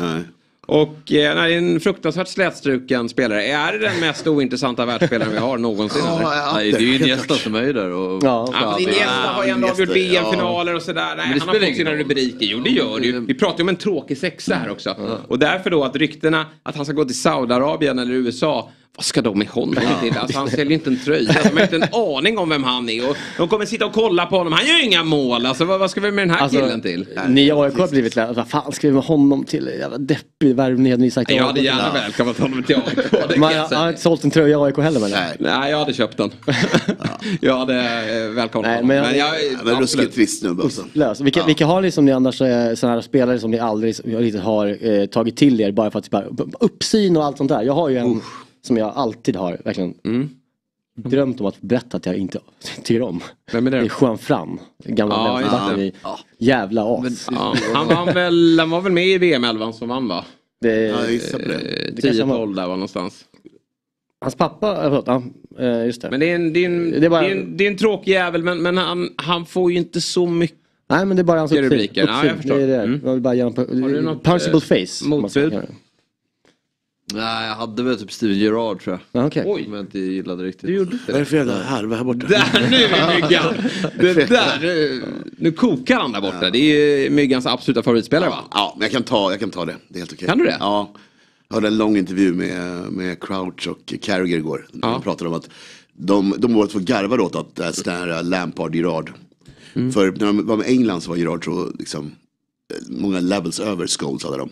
Eh, så att allt som tränade med Gerard kände det också att han var så mycket bättre. En- en att han aldrig blev Scholes och Gerard, de, de drog upp massa alternativ Ja. som att Europa, alltså, Europa League-semifinalen, Rangers. Alltså. Jag tycker ändå att det är... Ja, nej, han är inte på nivå, Rangers är ändå Malmö-nivå typ. Ja, ja det är coolt. Så det, det är ändå rätt bra. Ja. Absolut, men det går att studsa Ja, men vidare. alltså- Ja men det var Ja, hemskt jag Busquets då, är tre Champions League. egen liga på tri, trist snubbe. Ja det är det ju, men vilken, vilket CV ändå. Ja exakt, åtta La Liga, ja, en, ja, okej, skitsamma. Alltså tre Champions League, åtta La Liga-titlar. Det är väl det som sticker ut här. Men han var alltså i- Inte nej, med. han var ju inte med då när, Nej. tillhörde han truppen 10-12? Nej, jo, skulle han ju uppenbarligen inte. Startade han? Det här är, det här är Barcelona, Barcelona-titlar. Ja men det står ju där. Han är, VM nej, det är var- ju det är där är klubb, VM för klubblag. Ja jag menar Ah, okej, ja, det är. Barcelona-titlar här. De tar ju bort inte- Men alla- han var med i startade han VM-final 10? Det måste ha gjort. VM VM. Ja, ni är med, absolut. Ja men EM. startade han då? Ja, det tror jag. Det måste han Men göra. Jo men det bör han göra. Fan, Ja. han var ju... Var väl Senna och 08 va? Ja, Mm, så kan det vara. Och sen borde han ju varit med 12 också. Då Ja. borde han ju definitivt. Det borde han verkligen ja det är- för fan han var Väldigt bra. Nej det måste bara vara Barca. Han startade. Ja, det Ja, känns nej, som så bara- bara adderar vi lite VM och EM-guld på det också då så, så är det ju en hyfsad karriär. Det spelar ingen roll. Kan du Nej, det hans, spelar ingen eh, roll i det här fallet. Hans pappa, vad han var för position? Ja, ja, keeper. Ja. Det är han som blir ju ner... Ja, det är Pagge. Manglen. Ja, det är sjukt. Slaktad. Just det, det är Busquets pappa som står i mål då ja. Det är så bra domare att han inte dömer bort det här målet. ja. Rött kort Eller? var ju. Ja, nästan. Men det är en riktig jag gillar ju de där tacklingarna. Jag Ja. tycker att det är alldeles för billigt när bara, bara för man hoppar in med dobbarna så ska Ja men det är också rött det är kort. som i, i första semifinalen. Herregud. Ja men vad tror du? Dobbarna, Myggan. Vad kom, vad kom det nu för något? Vad, berätta mer. Nej men okej. Ska- Utveckla. Nej men jag tycker ibland blir det för enkelt att man kommer in med sulan först så börjar alla, ja, men det är såklart rätt för att det är som skaderisk. Men ja men att spela fotboll är ju skaderisk. Ja fast dobbarna är, det är ju Ja, ett vapen. nu snackar jag inte rak, alltså jag menar inte rak sula på smalbenet. Den, då, Ja, men vad får man, vad får man träffa Vad, vad får man, dobbarna? exakt, berätta mer om vilka, ja, vilka områden du vill ha Det är dobbarna på. Nej men alltså mer, du vet om du är på bollen men kommer in lite fullt med dobbar. Ja, men det- Ibland tycker jag att det blir lite Exakt, det håller- jag håller med dig. Det har väl domarna ganska bra koll på. Ja absolut. Men om vi såg första semifinalen här i City, eh, Real, när Kamavinga går in och får gult där. När han, eh, det tycker jag inte, det tycker jag inte, egentligen inte är frispark tycker jag. Han är lite halv, han är på bollen först men han klipper helt verkligen. Ja, spelaren. Men här, det är Ja, men den, den, svinbra jag håller tackling. med om att vi kan prata om. Jag tror mer generellt bara med dobbar. för- Jag bara vad snackar om? Att Nej men Pagges är ju Ja, men det- mycket, det är ju- det är ju liksom. sida. Ja. Det, det, det, det smäller ju men, men det känns ändå korrekt. Ja. Säger jag. Men har ni sett det där klippet på Busquets när han, eh, när det är träning i Spanien, han står bara i mitten, är någon så här eh, kvadden, han är i mitten, joker och bara står och, på en touch och vinklar. men jag kan tänka mig Jo, att han det är är Du, du, du har Ja, Jo, men det gjort. Men det, det, Men jag förstår ju du som hade den rollen också att du tycker, du har ju följt honom mer än vad jag har gjort. Och, alltså, det, han är ju enastående såklart. Men det är, om- nu pratar vi om personlighet. Ja, Ja, ja, jag är med dig. Jag tycker också Där är ju du, snacka om, du är lika bra som, din personlighet är ju på busk... Nej, alltså så här, du är lika, din personlighet är lika bra som Busquets Ditt fotbollsspelare. Ja, vad snällt Det sagt. var en hyllning alltså. Du är ju, så tillsammans är ni lika stora skulle jag säga. Så skulle, exakt. Det blir ju så, helheten. Eh, Men du har ju din tid som kommer nu. Busket kommer ju bara försvinna. Du kommer ju vara, få lika stora rubriker som Busket. Men i media Sverige om 5-10 år. Bra! Vi har kaoset i Bayern München också. Där Sadio Mané ska lämna. Fan vad mysigt. Det Och kaos. Thomas Müller. Ja, läste det. På, han- på tal om ja. trotjänare. Det är ju som så att, att Mané får lämna, det är ju inte så konstigt då. eh, Med tanke på att han sopade på eh, Mm. Leroy Sané här i omklädningsrummet. Men eh, Müller är trött på att inte få spela så mycket. Mm. Eh, så att eh, såklart Saudiarabien. Alla är ju där snart. Det är ju bara att eh, slå på. Men Müller ska väl till Saudi? Vad sa du? Müller till Saudi? Jo, Saudi eller USA. Samma sak Samma där. Ja, samma sak där. Kommer inte sälja en tröja. Kommer inte sälja en tröja. Nej. Lika ostlös Nej, det, som han är ju, person. där har vi faktiskt en, en ganska ointressant... Men han är ju ruggigt bra. Jaha, ja. Han har kanske ju vunnit lika mycket som Busquets som nästan. Men i USA kanske han kan göra någon sån här läderhosen. Alltså, Ja. Han känns ju bjuda på sig själv i. Alltså Ja. med sin tyskhet. Absolut. Eh, så kanske något sånt, liksom, spela inte i LA med, med öl. Det är så sjukt vad fotbollsspelare generellt nu stannar längre i en och samma klubb än vad det var för det eh, så? 20 år sedan. Känns som att det är så mycket mer att nu, det är... Men kanske fem år sedan, men 20 år sedan. Nej, men jag snack, nej nu snackar jag början av 2000-talet. Då Okej. känns det som att det byttes mycket mer. Nu är det mycket mer, alltså jag ska inte säga att de är trotjänare men de är mer i en och samma klubb idag. Faktakollen. Ja, men alltså tänker du... Men jag tänkte på de Gea när jag hörde om honom. Ja, det är 11 år. Det är 11 år. Mm. Men alltså, det Det är finns ju bisarrt. Ju- Jag tror du har fel här, Alltså, men, men ja, kanske. Del Piero, vi Jo men nu snackar du liksom- Ja, extrem här. Ja, men nu snackar du... Också. Nej, Du men nu... Nej men nu snackar du... Jag Ja, snackar... men men tesen är? Ja. men tesen är att det finns fler klubbar som har pengar typ som har råd att behålla Ja, exakt. Det är det. Eller vad men menar du? Ja, Är men det- det är det så jag du tänker? Ja, Ja, Müller, Ja, alltså, du har ju... Ja, kanske. Det är så många, man, man, man, man tänker inte på det. Sen när de ska iväg så bara, ja, men ta typ en sån som Juan Mata. Hur många år gjorde inte han i Manchester United? Mm. Det var väl tio år? Men de, de, de, blir väl så att de sitter väl fat and happy liksom. Ja, Tio år var nog det är inte, men vilka liksom. deppiga... Ja. Ja, ja, det var ju bara... Ja. Tio år kan absolut ha varit ju. Ja men du, Alltså- när du bollar upp nu, då Ja. bollar ju du upp Ja, jag- jag- tro, trotjänarna. jag förstår vad du menar. Det blir. Ja, nej, det är sant. jag- Nej men det, du, du, jag ger dig. Men däremot Många kan man har inte se- Många har det ju för bra också. Men Precis det är så. märkligt att de får någon förlängning ibland. Men tänk så här på Mata då. Han fick ju en förlängning för mycket förmodligen. Och vi Superkonstigt. pratar om sån här Phil Jones i sin klass. Men han gick väl- Han är fortfarande på lönelistan. Det sker. Ja, det sker. Matta han... måste ju ha gått 09 typ. Alltså var det inte 08 han var i Chelsea? 09 en gång typ så tidigt menar jag. Till, eller 10 kanske till Ja, United. vi får kolla det. Upp med Matas jag, karriär. tror fan, han var, jag tror han var 10 Det var år. bra han var Matta i Chelsea. Ja. Ja, jag visste att vi skulle gilla honom. Ja, men, eh, han, ryktades inte han till allsvenskan någon gång? Eh, Ja, men det har ju snackats om att han är svensk tjej va? Ja. Något sånt var det. Var det förra? Och, Och det Malmö har ju något. Ja, just som det. att AIK har ju alltid sitt rykte om Figo. Att han ska vara nära AIK. 14-22 eh, var han i United. Ja, åtta år. Åtta år. Det är ändå bra. Eh, 1,70. Han gjorde alltså 196 matcher på United. Han minns inte en enda. Nej. Nej, Och ändå 34 mål, det är ganska bra i hans position.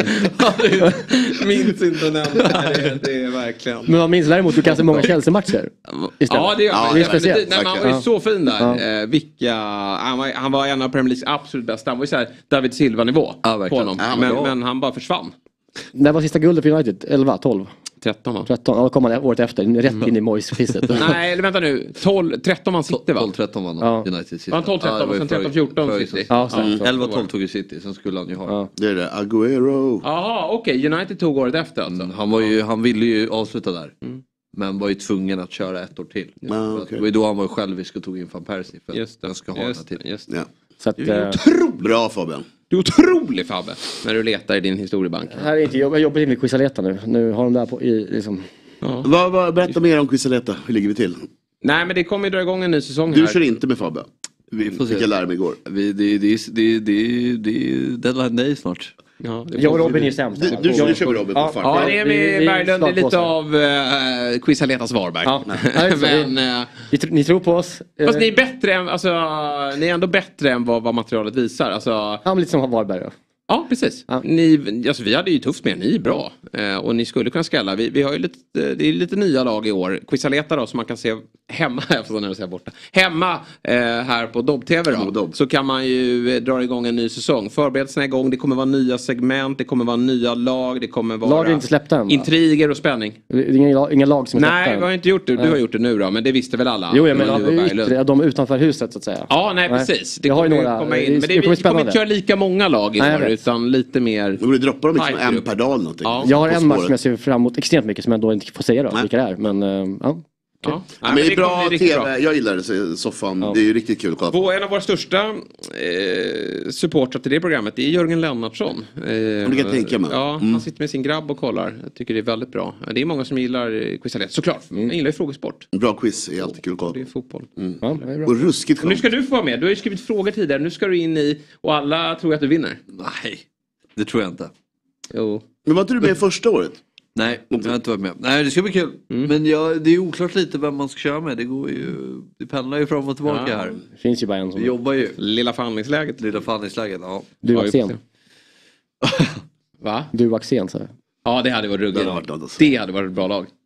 Ja, jag vet inte om han... eh, Men, Men, men kul bara, se. Ja, verkligen. Gud, Bra jag- TV. jag- Apropå Robin, han är ju en sån som snackar ner sig själv när det kommer till Ja. fotboll. Men han då, Alltså, ja, Robin kan ju mycket mer. Alltså. Ja, Ja, ja, ja. Han ska sitta här som att han, Han säger så konstiga saker ibland. Ja. eh, Jag var tyst. Jag var fotboll. okej, nu pratar du om någon gammal startare från 2002. Absolut. jag var på hans standup igår. Ja, du var ju det. Men jag tänkte att den rapporten vill vi höra imorgon. Robin är med, eller då, blir det eh, recensionen. Ja, precis. Då får du Bryt ner varenda suga lite på eh, Har du, eh, har du pointers Dan?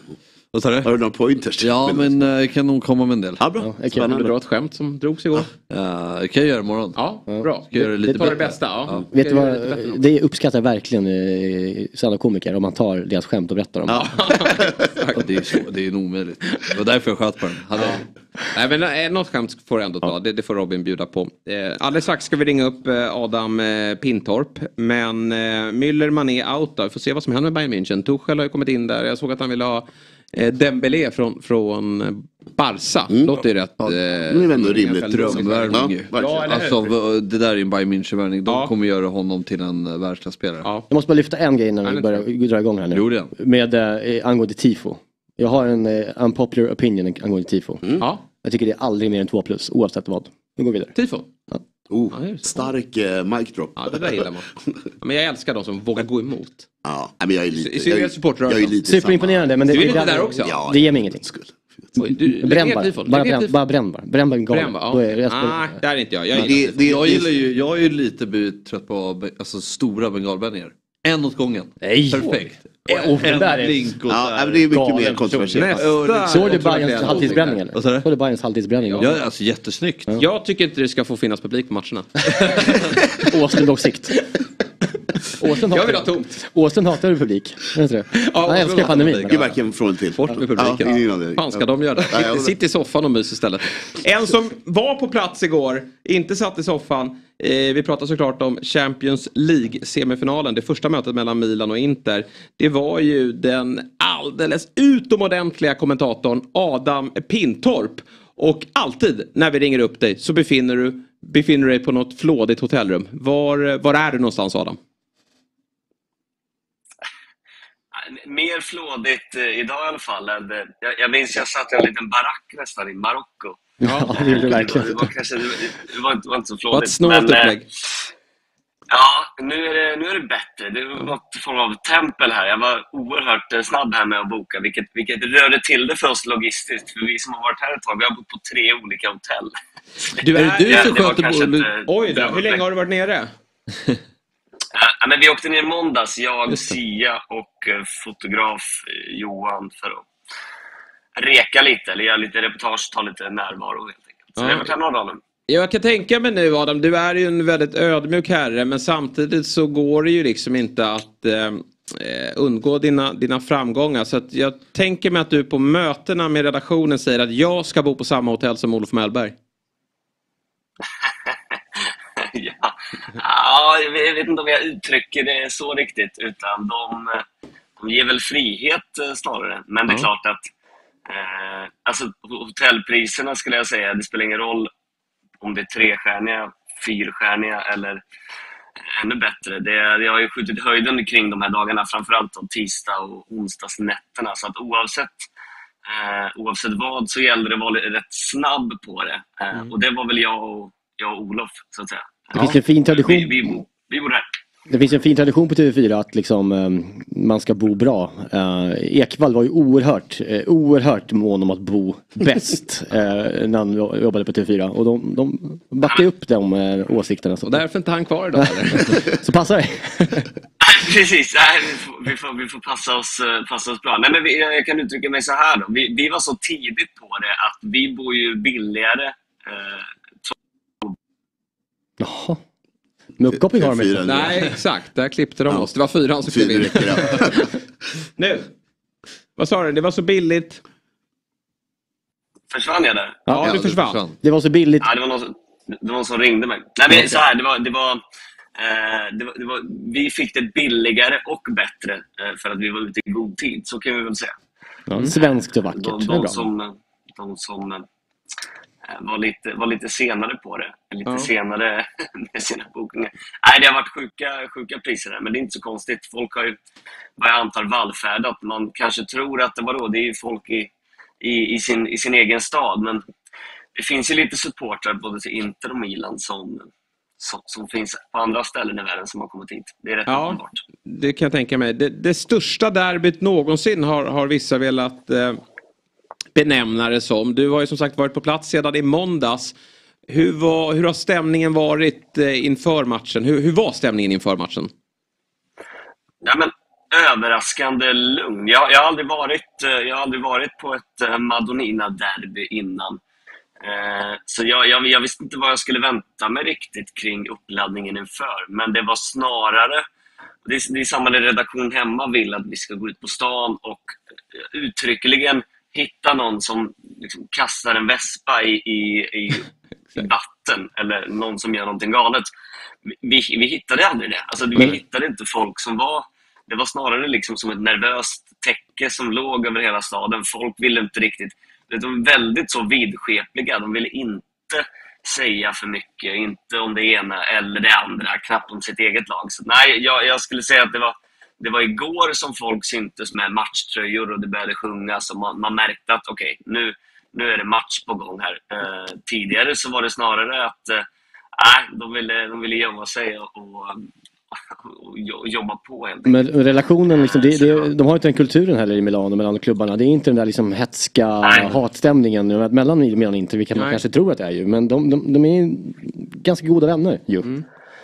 Jag, jag tyckte det var, det var, var vackert beskrivet. Det har väl många gjort kanske genom åren när man, när man beskriver eh, någon form av för, för, förenad kärlek som ändå eh, har en rivalitet som, som liksom ligger där och, och puttrar. Men vi träffade en supporter och han sa det att det, det är verkligen som två bröder eller två bästa vänner. Och man vet ju själv, då, man kan ju relatera till att det finns ju otroligt mycket prestige i att slå sin brorsa eller sin bästa vän i vilken aktivitet man nu än utövar.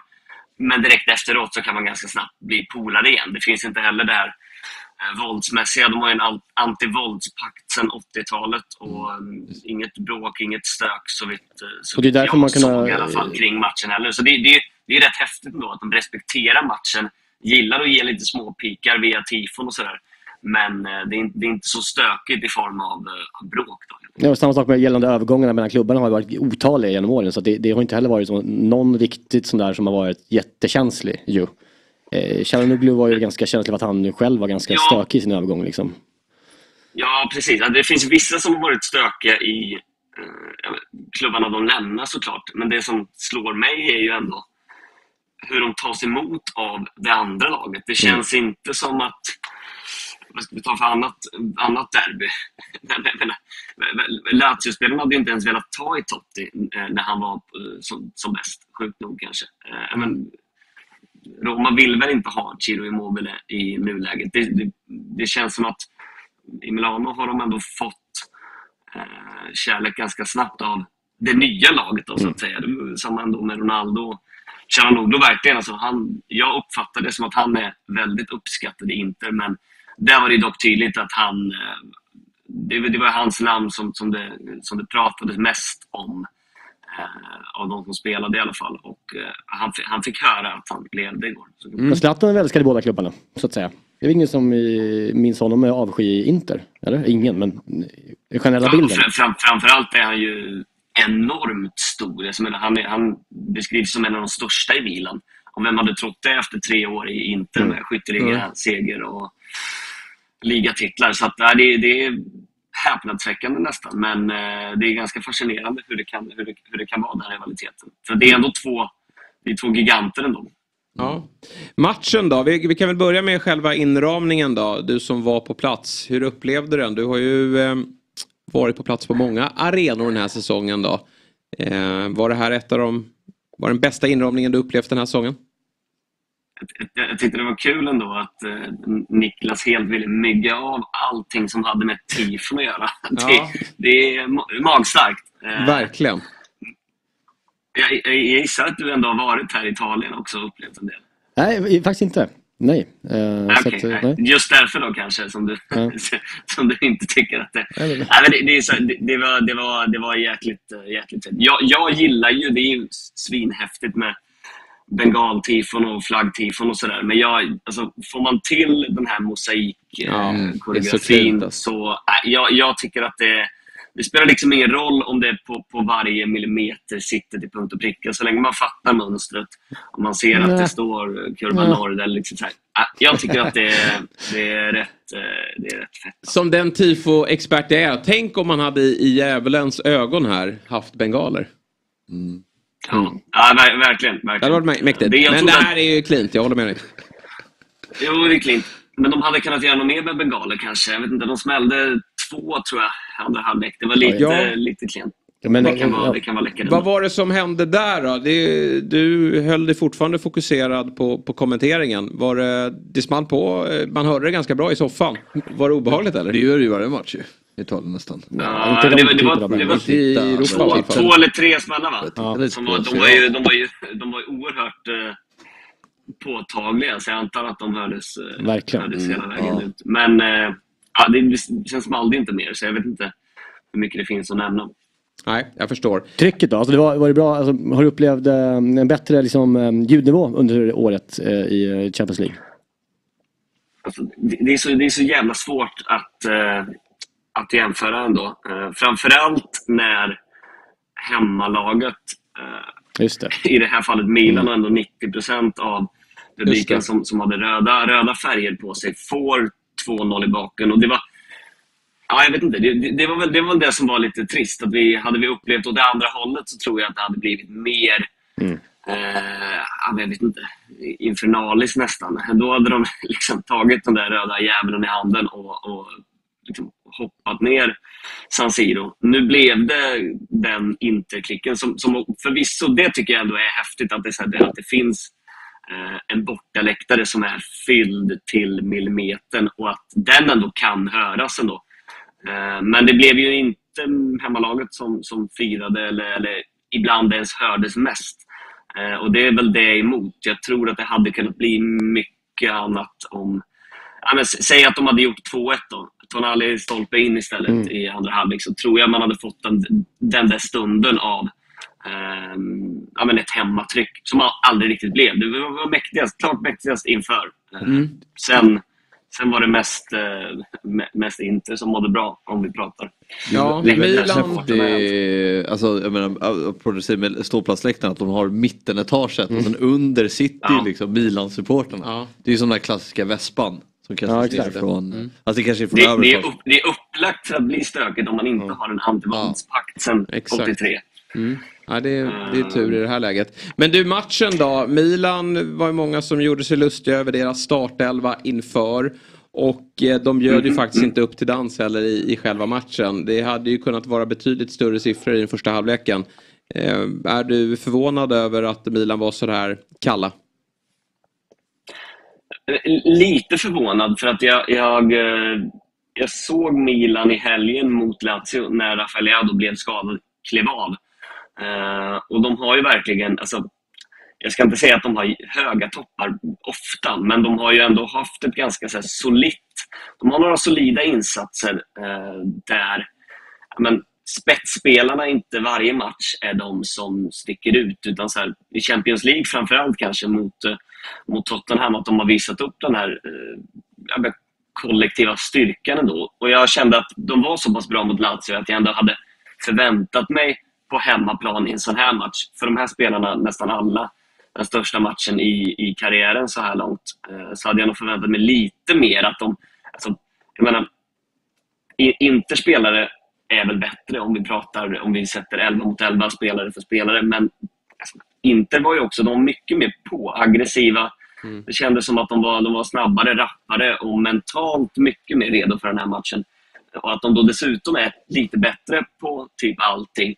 Nej, då, det, det blev en större differens än vad jag, än vad jag trodde. Och, eh, det kändes som att många var lite tagna av stunden. De kom liksom inte riktigt in i, in i matchen. Och det, det måste man väl liksom, som tränare eller som supporter eh, ändå alltid kunna, kunna säga att vi, vi, vi gav dem ju en kamp i alla fall. Och det kändes som att första halvlek så eh, det var, det var verkligen... Det, det, det kändes som att det skilde några, några centimeter och några, några år på Inter Ja, det, det är enorma skillnader på liksom filmjölkscykeln. Liksom. Ta en Rade Krunic och en Salamakers och en eh, Brahim Diaz liksom, i en sån här typ av match mot det som inte ställer upp med. Det, det, där är liksom bara den, den kampen är torskad på förhand så att säga. Det, Men inte var väl ändå ganska solklara favoriter inför... solklara var de inte. City var ju väldigt mycket större favoriter mot Real Madrid då, om man tittar till oddsmässigt då. Men eh, absolut att inte vara eh, favoriter. Men det, det lever ju ändå. Bara 2-0, det är vi glada för. Hade den där straffen eh,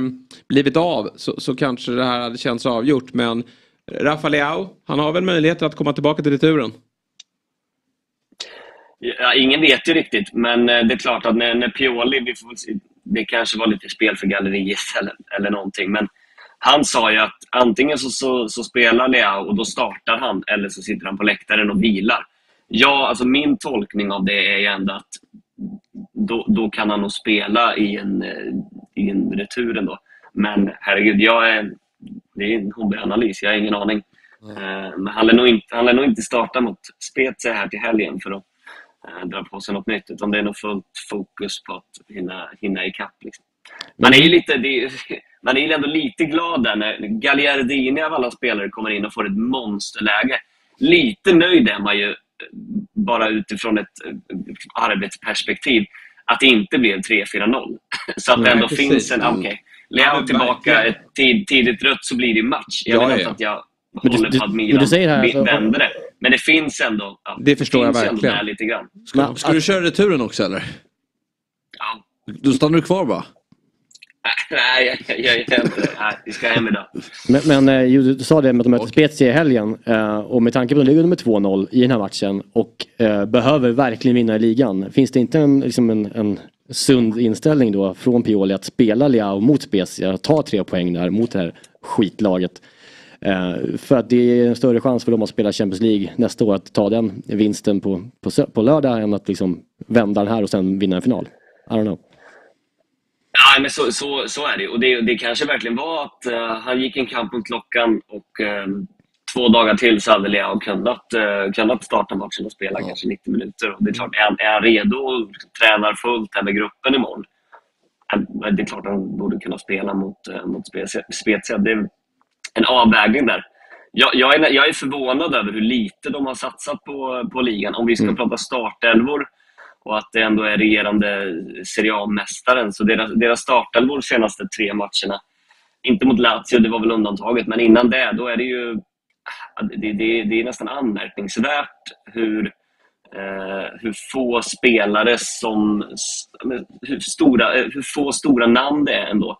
När de spelar med, med Pobega och Branks och De skit. och Junior Messias och eh, Ciao. Och det eh, några spelare som absolut eh, kanske kan bli bra framöver. Men eh, eh, ja, det, det, det är intressant. Det, det känns tydligt att de har prioriterat Champions League. Det är samma med Inter. De, de väljer att spela Joaquin Correa i sex eller sju raka ligamatcher. Men så fort det är viktig cupmatch då, då är Lautaro och Dzeko tillbaka där i anfallet.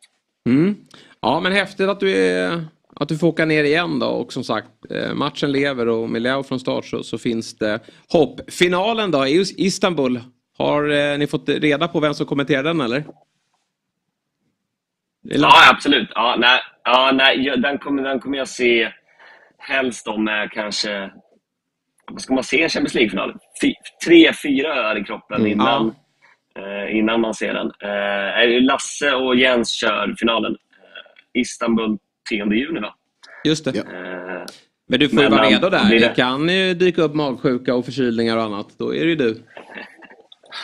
Ja, precis. Eh, kan ju kommentera det med ju bärs i en kroppen sån- Det var ju en sån, precis.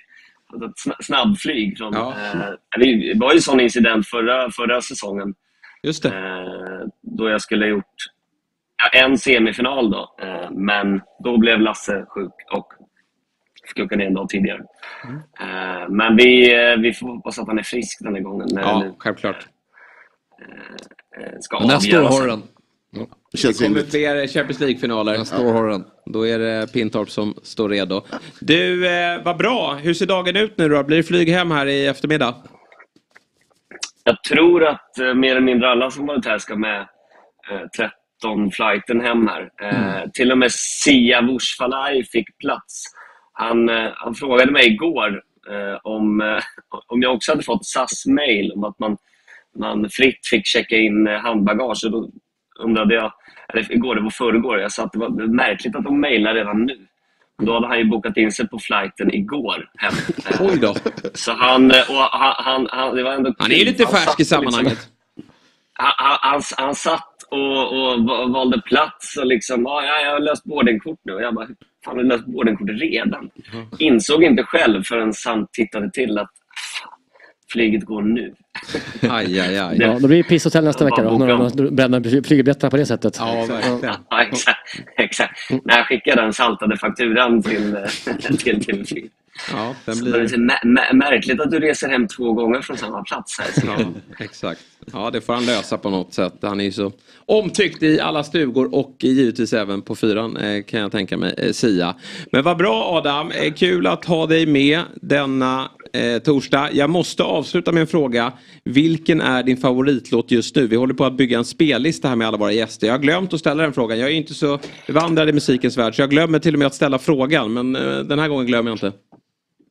Eh, men, vä- vä- vänta här nu. Här vill, jag- här vill jag ju ändå svara någonting. Eh, Mm. favoritlåt just nu? Ja, eller nej, det behöver inte vara. Nej, det behöver inte vara just nu. Vilken en låt ska med på listan? Ja, vilken låt ska med på listan? Vilken låt ska med på listan? Eh, är ni, är ni all, hela Dobby gör? Vad sa ni? Alla Nej, gäster det är gäster. spellista? Eh, Gästlista. Du är utvald. Okej, men, men, ja, men så, så, fort, så fort jag får frågan så, så vil- vilken som är världens bästa låt genom tiderna så svarar jag nästan alltid eh, Def Leppard Hysteria. Så den, den måste väl eh, primärt då få, få ta plats där. Mm. Många dagar sedan jag hörde den nu, men där, nu, nu fick ni någonting. Ja. Kan ni kliva ut med studs, studs idag igen Ja, här svinbra. efter, eh, Tack så mycket. studion. Grymt, då tar vi med den. Och tackar dig Adam för att du var med denna torsdagsmorgon. Och så hörs vi om en vecka igen då, bestämmer vi. Ja. Exakt. Från något annat, ännu mer flådigt hotellrum. Tack, tack! Ring om det är något. Tack Hej. så mycket. Tack så mycket. Ja. Jag vill bara påpeka min, min, min eh, alltså, eh, grej om tifo. Ja. Att jag är jätteimponerad alltid över Arbete. arbete. Ja, exakt. Men jag pratar, men det ger det hajar man. jag pratar visuella, Ja, vad, vad, jag får, vad jag får ut av det så känns det, liksom, det, det, det är alltid två plus. Det är jättefint men det ger ingen, bygger inte min liksom, hype kring matchen. okej. Eh, så det var det. Man ser Niemi står på Tele2 med ryggen mot tifot. Nej men du vet, eh, ja precis. Om jag ens går på Tele2 på söndag. Ja, precis. Uff, vilket derby här eh, som väntar på söndag. Fy fan. Alltså, det är sånt... Djurgården slår ner spiken i match- Nej, nej, men det, det, det, vi har ju lärt oss det där att det, det, det är laget som det talar minst för. Ja, det är vinner ju det. allt. Verkligen. vinner ju Ja, allt. ja. Men Nej, inte det är det här laget. grattis. Det inte det, här, det laget har inte det i sig. Så är det bara. Nu kliver de Man ska inte vara kaxig inför söndag. Nej, nej, nej. nej, gillar inte när djurgårdare är eh, ödmjuka. Det- Nej, Jo, det är det. Ja. Du går vidare. vi går vidare. Eh, Det där var Champions League. Ikväll är det Europa League och Conference League. Ja. Riktiga, riktiga turneringarna. Trist med fyra matcher samtidigt. Ja. Allting det är spelas dassigt. 21.00. Ja, Ja, det är konstigt. Det är ju en dålig paket. Om man ska bygga en turnering. Ja. Konferensen kan kan ligga sju eller Det är sex. ju... Vad tänker vi här då? Juventus mot Sevilla. Mm. Allegri ska lämna nästa år säger folk. Mm. Gör han det om de plockar Europa League och topp 4? I... Det tror jag. Ja. Ja men fan de kommer behöva göra mycket nu med, med hela plus Valencia-grejen som kommer, kommer Ja precis, det, det är så och- mycket som kommer hända sen. Det- Det känns som att det där inte... Liksom, Kan de inte ta han... Ko- In med Conte igen. Säg förlåt till Conte och sen så bara... Vadå? Ta honom. Nej, Gasperini. Nej för ja, helvete. men Conte, Conte är väl perfekt. De ska ju ha någon sån där. Som gjort för Bara, liksom, de har, de har ju bråkat. Serbi då? Nej. De har inte råd. De har inte råd. Nej. Jag tror han är för... Han är väl- Körde ju med... för eh, Sarri var ju där och snurrade är det. Ja, men... Ja, Juventus ska ju ha den där typen som anpassar sig efter Ja, klubben, liksom. Jag tror det jag fattar. Jag fattar. Mourinho, hellre så att säga. Alltså, Ja. typ. Nej det kan han ju inte Nej, göra. jag menar men Men bara jag hoppas Serbi. på Alltså, eh, Sevilla ikväll. det gör man ju. Ja. Nej. På tal om Mourinho då så har ju han möjlighet att ta en titel här igen. Ja. Eh, Ny tatuering. Ny tatuering. Mot sin... snyggare den här gången. Mot Xabi Alonso där, hans gamla Just det. adept. Det är läckert. Det är läckert. I Real Madrid va? Ja. Mm. Jag hörde en intervju från massa år sedan. När han pratade om Xabi Alonso om något. Hans pappa var ju spelare och tränare. Ja. Och liksom samma som Mourinhos pappa. Just det. Så vi kan loss på det någon lång harang om det där. Kan det vara Xabi Alonso som tar över efter Kloppen sen eller? Nej, det, det, tyvärr är det nog too good to be true. Han Ja. kommer nog ta Real Madrid någon, tror jag. Är han så bra? Är han så Ja, bra? det tror jag. Oj. Ja, det är bra, exakt. Ja, kul. Eh, Liksom, inte nästa år, men alltså igen ett år till, två. Häftigt. De Cherby tar väl Liverpool när det är dags. Precis. Någon gång ska han in i... De Cherby. Ja, det Serbi känns mer, Ja, det är exakt. Serbi. I Liverpool när Jag tror det de dags. Ja, framåt liksom. Otacksamt att ta efter Klopp alltså. Det känns som det Ja, fast det kommer så mycket... Är inte det bra att ta över efter en sån som har gjort det bra innan? Klopp har gjort det jättebra i Liverpool. Ja. Ja, jag vet. Men det är inte bra att ta över efter, att, ta över efter någon som har gjort det bra Ja. innan? Ja. Ja, då, så, då är det ju läge. Du ju. Så det. vara Ja, jag tror det var otacksamt. Nej, tacksamt. Ja, tack. Ja, okej. okej. Ja, nej, men oavsett så tror jag Bra, eh, Alonso har, har liksom eh, nästa hylla om vi kallar det det. Alltså typ ett Real Madrid eller... Han har ju också-. Eh, Tema för dagen. Han har också karisman för att Ja, verkligen. ta över Real Madrid. Verkligen, verkligen. Tjusig man. Ja, otroligt. Väldigt tjusig otroligt. En med karisma som inte lyckades, var- det var ju eh, eh, Scott Parker. Ja. Karisma, men lyckas ju inte som tränare. Nej, Men var det, var, var det Mm. bara i Sverige vi har satt studion när man så besatt av hans kläder? Eh, Fjäll är också det. Nej. Han klär sig ju rätt dassigt. Ja, nej, jag har inte Det är någon sån här liksom Day Smart möter, alltså det, det är inte superhett. det. Eh, Allt är bättre än någon- den här katalanstilen i alla fall. Han har en sån här vinter... Vem pratar vi om? Kavaj. Scott Carson. Ah. Han har liksom, Carson. Parker. Eller? Parker. Parker. Ja, Carson tänkte jag på i morse. Han var ju med på Bernabéu. Han var även med 2005 i, alltså, med Liverpool 2008.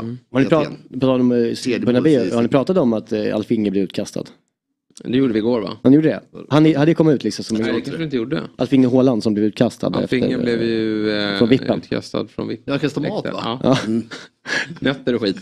Eh, hans han såg ju verkligen berusad Ja, ut. Alltså, han han hade det. svårt och han skulle, det var en sån här klassisk fylla där, nu ska jag inte visa att jag är full men, men jag är full. Ja. Det syntes väldigt Sättet tydligt. han att vinkade på var också ja, väldigt verkligen. som en full Balansen gubbe. var inte Ja. under kontroll. Så det var lite genant faktiskt. det är en nivå när liksom två vakter går in på vippen Ja. när det är liksom Haalands pappa så att verkligen. går in och plockar bort någon. Det är Sen var det liksom, kul att han också då skulle gå ut på Twitter igår och det gjorde han på eftermiddagen. Det var väl då han vaknade kan jag tänka mig. Eh, då skulle han ut och försvara sig eh, med, med att det här var ingen fara och ingen skada skedd och sådär. För det finns väl någon form av förhoppning kanske att Haaland ska dit eh, Ja. i framtiden. Ja, ja, Så att, eh, Det är men det säkert. kan nog ske ändå kanske. Ja, det tror jag också. Men han är väldigt norsk i sin ocoolhet. Alltså. Ja, Tyvärr. verkligen. Lös igenom där. Ja, det gjorde det eh, och, och definitivt. Bryne där de kommer ifrån, det är en riktig jävla, det är liksom eh, Norges Värnamo så att säga. Det är, Ja, just det. det är en riktig skithåla. Ja, jag har ju varit, eh, jobbat på två stora norska bolag och varit på firmafester där. Ja. Och jag kände igen det här beteendet faktiskt. Ja. Eh, om jag ska vara ärlig. Hörrni, är det kort om Conference League då? För det är ju spännande också. Fiorentina Basel och West Ham AZ. Mm. Då har vi ju svenskintresset där, Jesper Karlsson. Om han lirar. Han lirar inte heller mot Nej, jag vet. Vad är det som händer där? Att han håller på... La- Han är ju... Jag tror att han är i Rom typ.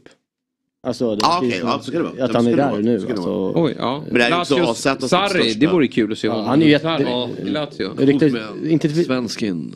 ja, det var igår Ja, det började I en snackas. storklubb. Ja, Rom. Otroligt. Det känns som England har missat honom helt. Alltså Ja. inga rykten i England alls. Är Nej, och jag kan inte ha att göra med storleken Ja. på honom. Men vem, vem ja, Det finns är mycket skit, det finns mycket skitklubbar i Ja, England. ja. Alltså, kolla Nottingham. Ja. Men hur- Anthony, allt kolla. Anthony Ja, också.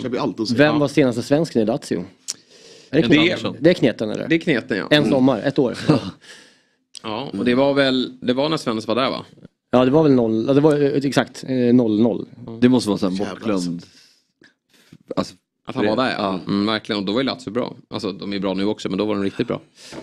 Vi måste också nämna, tycker jag, att det rör på sig gällande Viktor Gyökeres. Ja, Det har ju varit en, alltså. en lång följetong gällande honom, vilken klubb det blir. Alla liksom, mittenklubbar har... Det händer nog Ja, mycket, i- det händer nog mycket efter, efter uh, helgen. För jag tror Mm. Middlesbrough kan vinna rätt stort.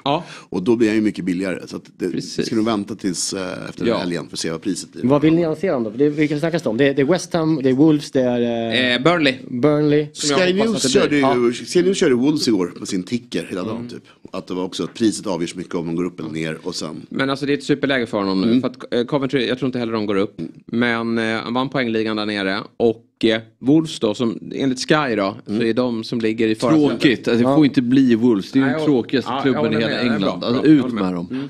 Mm. Vad- vad vill du ställa ja, då? men de är så... Ja, Burnley ställer Ja, Burnley vore kul Burnley. såklart. Burnley vore ruggigt kul. med BP tanke på jobba med Company och, och Jalle, de, de hänger mycket De är 98 i England. båda två Ja, också. precis. Ja, ja, de är jättebra kompisar. Och han eh, BP-killarna, och de är väl eh, deras målskytt. Han var ju bara lånad, eller hur? Han Ja, Tell- exakt. Tellas, vet han. Eh, Teja ja. Teja. Ja precis. Ja, det, från, eh, Ja. från Southampton. Southampton. Eh, men hon tar honom nog in. Jo, men oavsett, Ja, man kan ändå... han är lite mer, det här är jag håller striker, jag håller med. det är Ashley Barnes där. Så att, nej, nej, nej, alltså kommer, eh, Burnley är ju lite småsnåla också. så- Men, och, och ska de värva Gyökeres då går han rätt in. Mm. Det gör han dock i Wolves också. Raúl Jiménez helt slut. Eh, Diego Costa, ja på tal om slut. Så att, eh, Koreanen. jag tror att han har, alltså den klubben som kommer ta honom, han kommer bli helt ordinarie. Vad, vad Och- kostar eh, en Gyökeres? Är det 200? Eller? Ja, kan det vara så? 200-300 eller?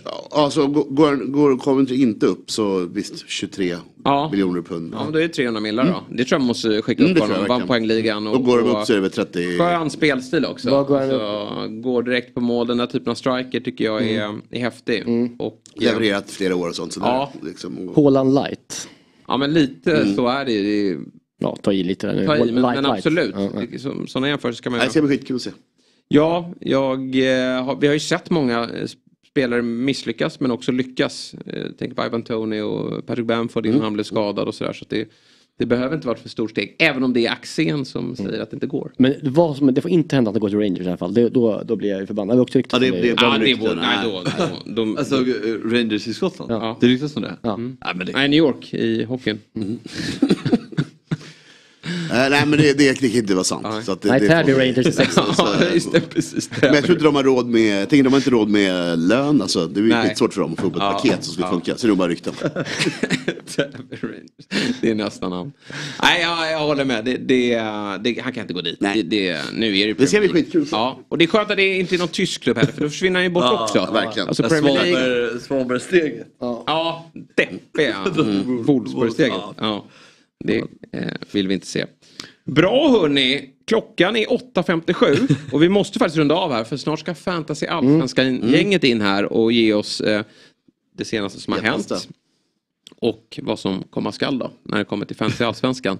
Viktor ler där borta men det är nog bara för att han tycker det är roligt eh, att vi sitter här och pratar. Eh, Dobb-TV rullar vidare. Snart Quizaleta. Fantasy Premier League. Upploppet, upploppet, fantasy, där. men sen, ja, bara... Uppförsbacke för mig tyvärr, nedförsbacke för andra. Eh, Men du har ju även noll fotboll där du sitter och pratar publiksiffror. Det var en het debatt igår. Ja, jag bryr mig inte så mycket men det var ju från annat håll det är ju Ja. väldigt en hjärtefråga. Men... Vad är det att uh, då Bayern hade få eller vad var problemet? Nej, det Jo, var väl att det AIK svingade på att Djurgården hade dålig tillväxt då. Mm. Eller? Men det stämmer ju inte. Det är ju helt... Nej, jag tycker väl också det. Tillväxten är väl tvärtom. Det är väl Ja, det är jättebra. tvärtom. Ja, det är jättebra. Men, men eh, var annat man kan svinga på i så fall. Det Mjäl- Bayern hade kostar ju- under 20 000 på, Ja. jag vet inte hur länge. Vad tror du det beror på? Ja men det måste... Sport köpta på skit. Ja, nej men alltså herregud, jag kan nästan bli provocerad av att AIK säljer så Inte- många biljetter. Hur dumma är Oavsett- vi? Hur dumma är vi? det är- Det är, chockerande Sitter där. Att ni är det. Vad fan händer? Ja, men det är helt rätt. Men man blir ändå... Nej, jag, jag, jag, Det här jag, självskadebeteendet, det, är- det, är- det är någonting med det.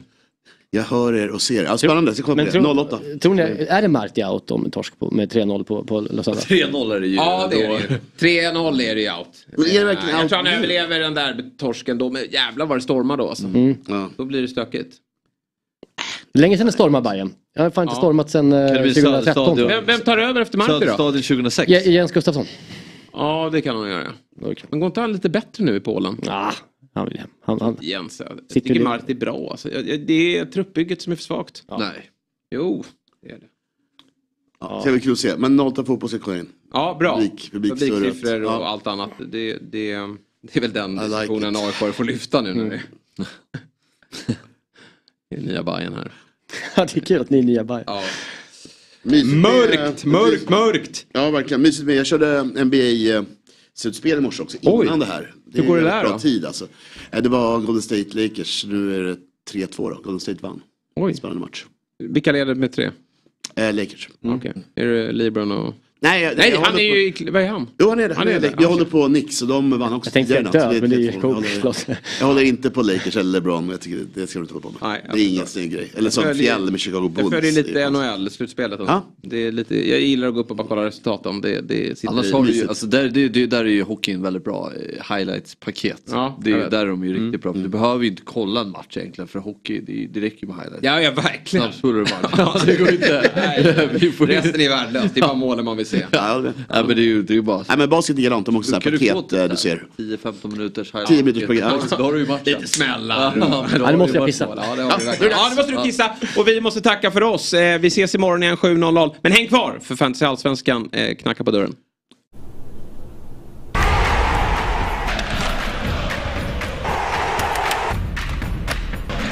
Samla sporten i Telia Play. Alla matcher och ligor på ett ställe till ett bättre pris. Välkommen till Telia. Men eh, på eh, kaptener så är vi alla överens i alla fall. Eh, det är vår svensk med, med dubbelt nästa omgång. Ja, men det är kul att få bindla där. Är det första gången i så fall? Ja, jag tror jag har gjort det en gång innan. Ja. Ja, jag har inte ens ägt honom i år. Ja, du har inte det?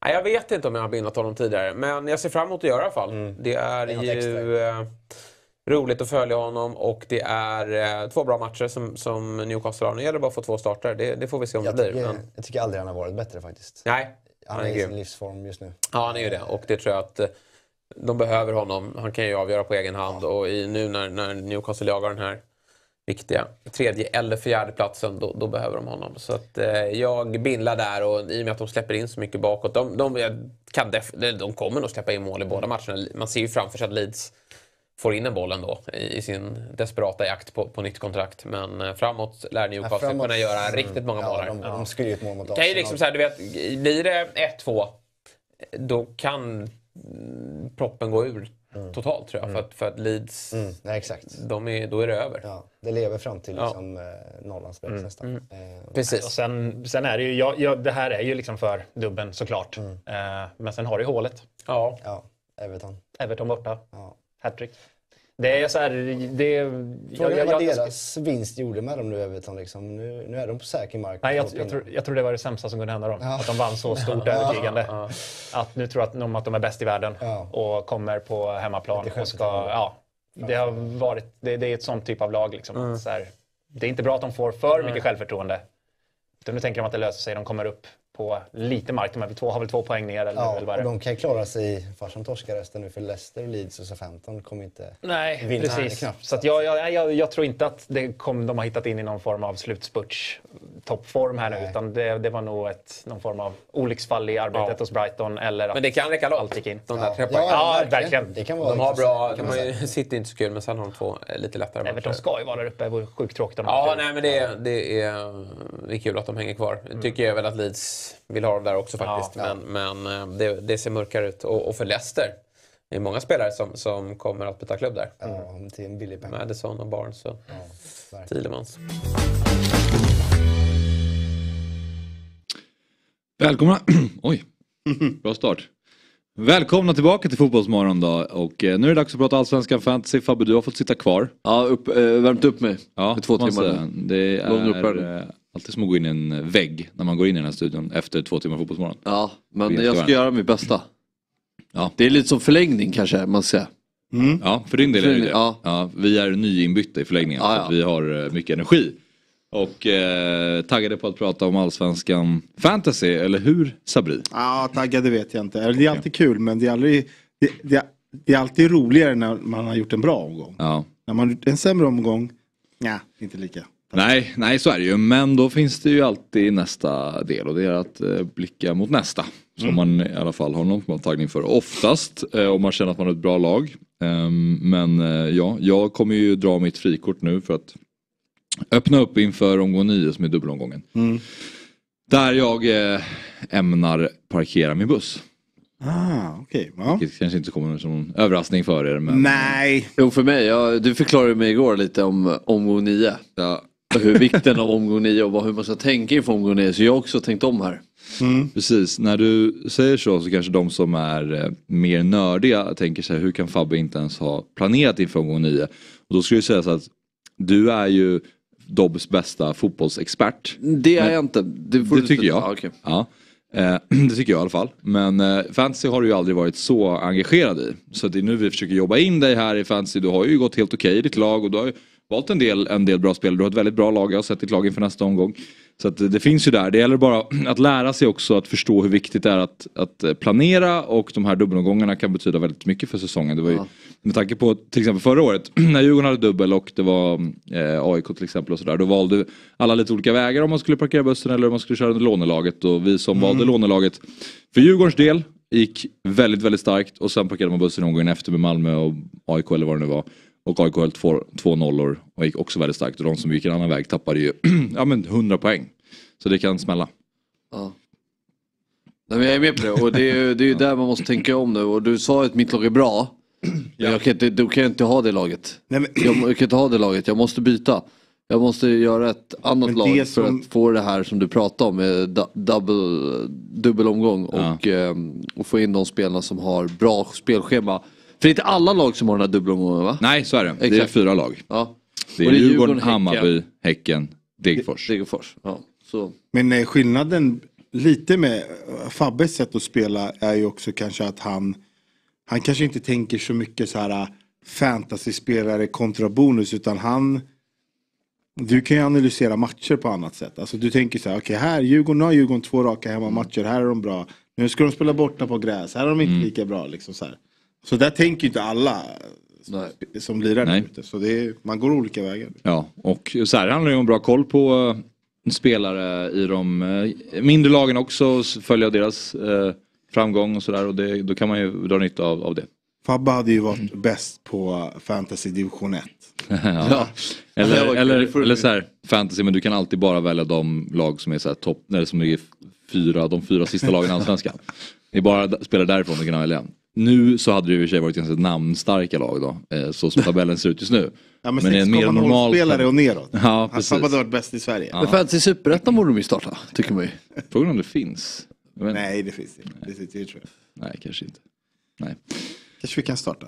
Eh, ja, det får ni spela själva. Men eh, nu går vi igenom våra lag tycker jag och eh, jag kan väl börja då med eh, att prata lite om infanteriet och i och med att jag visste att jag skulle dra frikort till den här så kunde jag liksom göra lite vad jag kände för. Mm. Eh, till eh, omgång sju. Din jävel alltså. Du kör Vadå? Ondrejka kapten. Ja, jag bildade Ondrejka eh, och det var väldigt framgångsrikt. Men problemet här är att jag gjorde två byten. Och jag tänkte så här, nu ska jag, jag... Jag har jobbat hårt den här säsongen med att försöka pricka in de här formstarka spelarna som har hyfsade matcher. Så då tänkte jag det vore kul att chansa med Marcus Berg efter hans två mål mot Degerfors och så möter de BP. Jag tänker så här, även om BP har gått bra också så tänkte jag verkligen att nu kanske de kommer fortsätta tro på här och vi kan få ett till mål från Marcus Berg. Och sen så bytte jag in Adinalic för att jag tänkte att han är Hammarbys bästa spelare eh, i mina ögon just nu. Eh, och de har Mjällby hemma. Det kanske kan, man kanske kan få någon return i alla fall. Sen var det lite osäkert om man skulle starta. Mm. Problemet här är ju då att jag byter ut Rajovic, inte jättefarligt, men jag byter också ut Anders Christiansen. Eh, och här tar jag dessutom en minus fyra. Så det är väldigt hårt spelat. Mm. För att det, jag tyckte att det var, det var roligt att chansa så inför den här sista.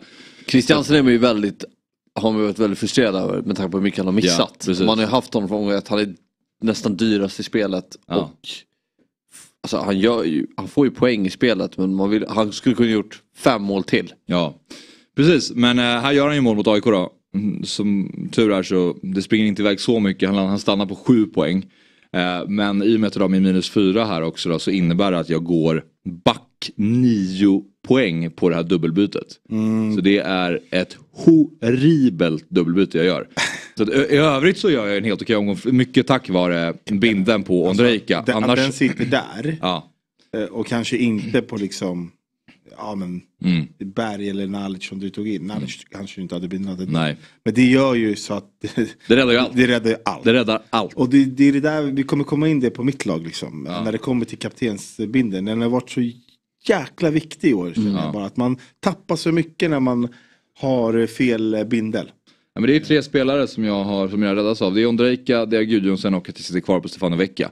Annars får jag inga träffar Men alltså, det, alltså men, men fan, du måste ju vara friserad över Gudjonsen också. Alltså Elfsborg, de gör sex mål, Ja. fem mål på... Ja, fyra. eh, fyra. På Sirius. På Sirius, Helt exakt. sjukt på Ja. fyra gånger de är i straffområdet. Men de har gjort tio mål då på de två senaste matcherna va? Mm. Alltså, Gudjonsen har gjort ett va? Eh, Halmstad och Sirius. Är det de två senaste för ja. ja. Och han har gjort ett.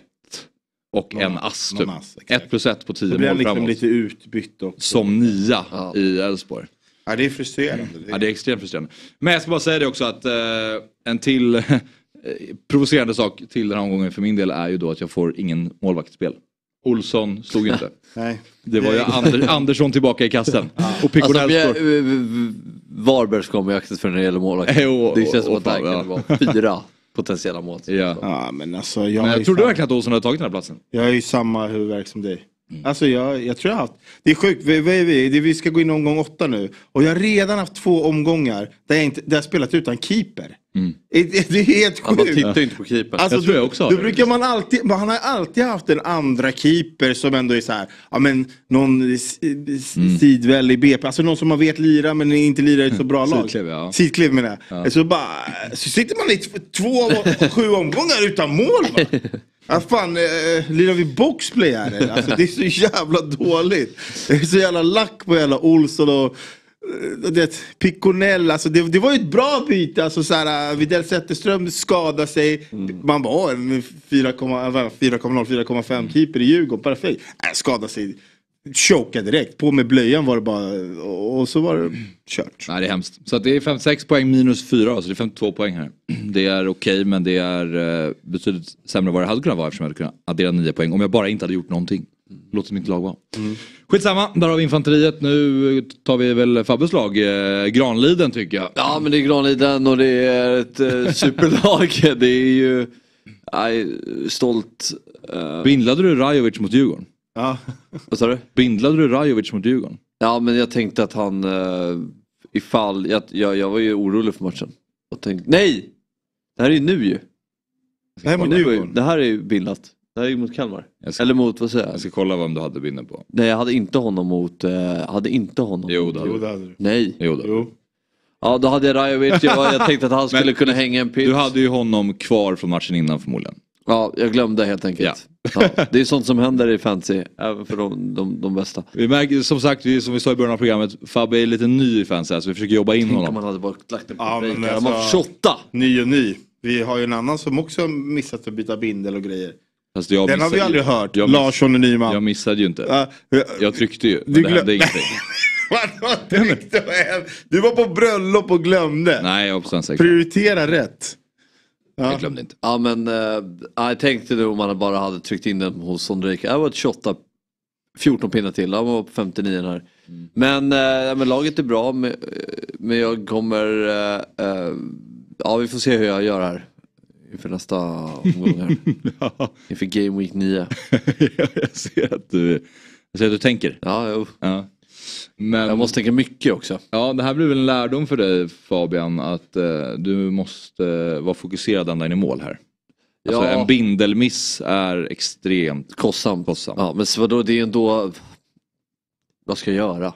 Men Rajovic är ju klass. det, det, är ju det är inte, också utan det, det är dock inte säkert att du hade bindlat Ondrejka. Du hade, det är många som bindlade, Nej, men det precis. är många som bindlade Isak Kristelin. Då hade det varit exakt samma utfall. Ja. Eh, Jag om var- du hade har ju- bindlat Larsen så hade du fått någon poäng mer liksom. Ja, nej men precis. Och jag har ju, där, där är ju det jag grämer mest av att jag har ju valt Christiansen spåret före Isak Kristelin.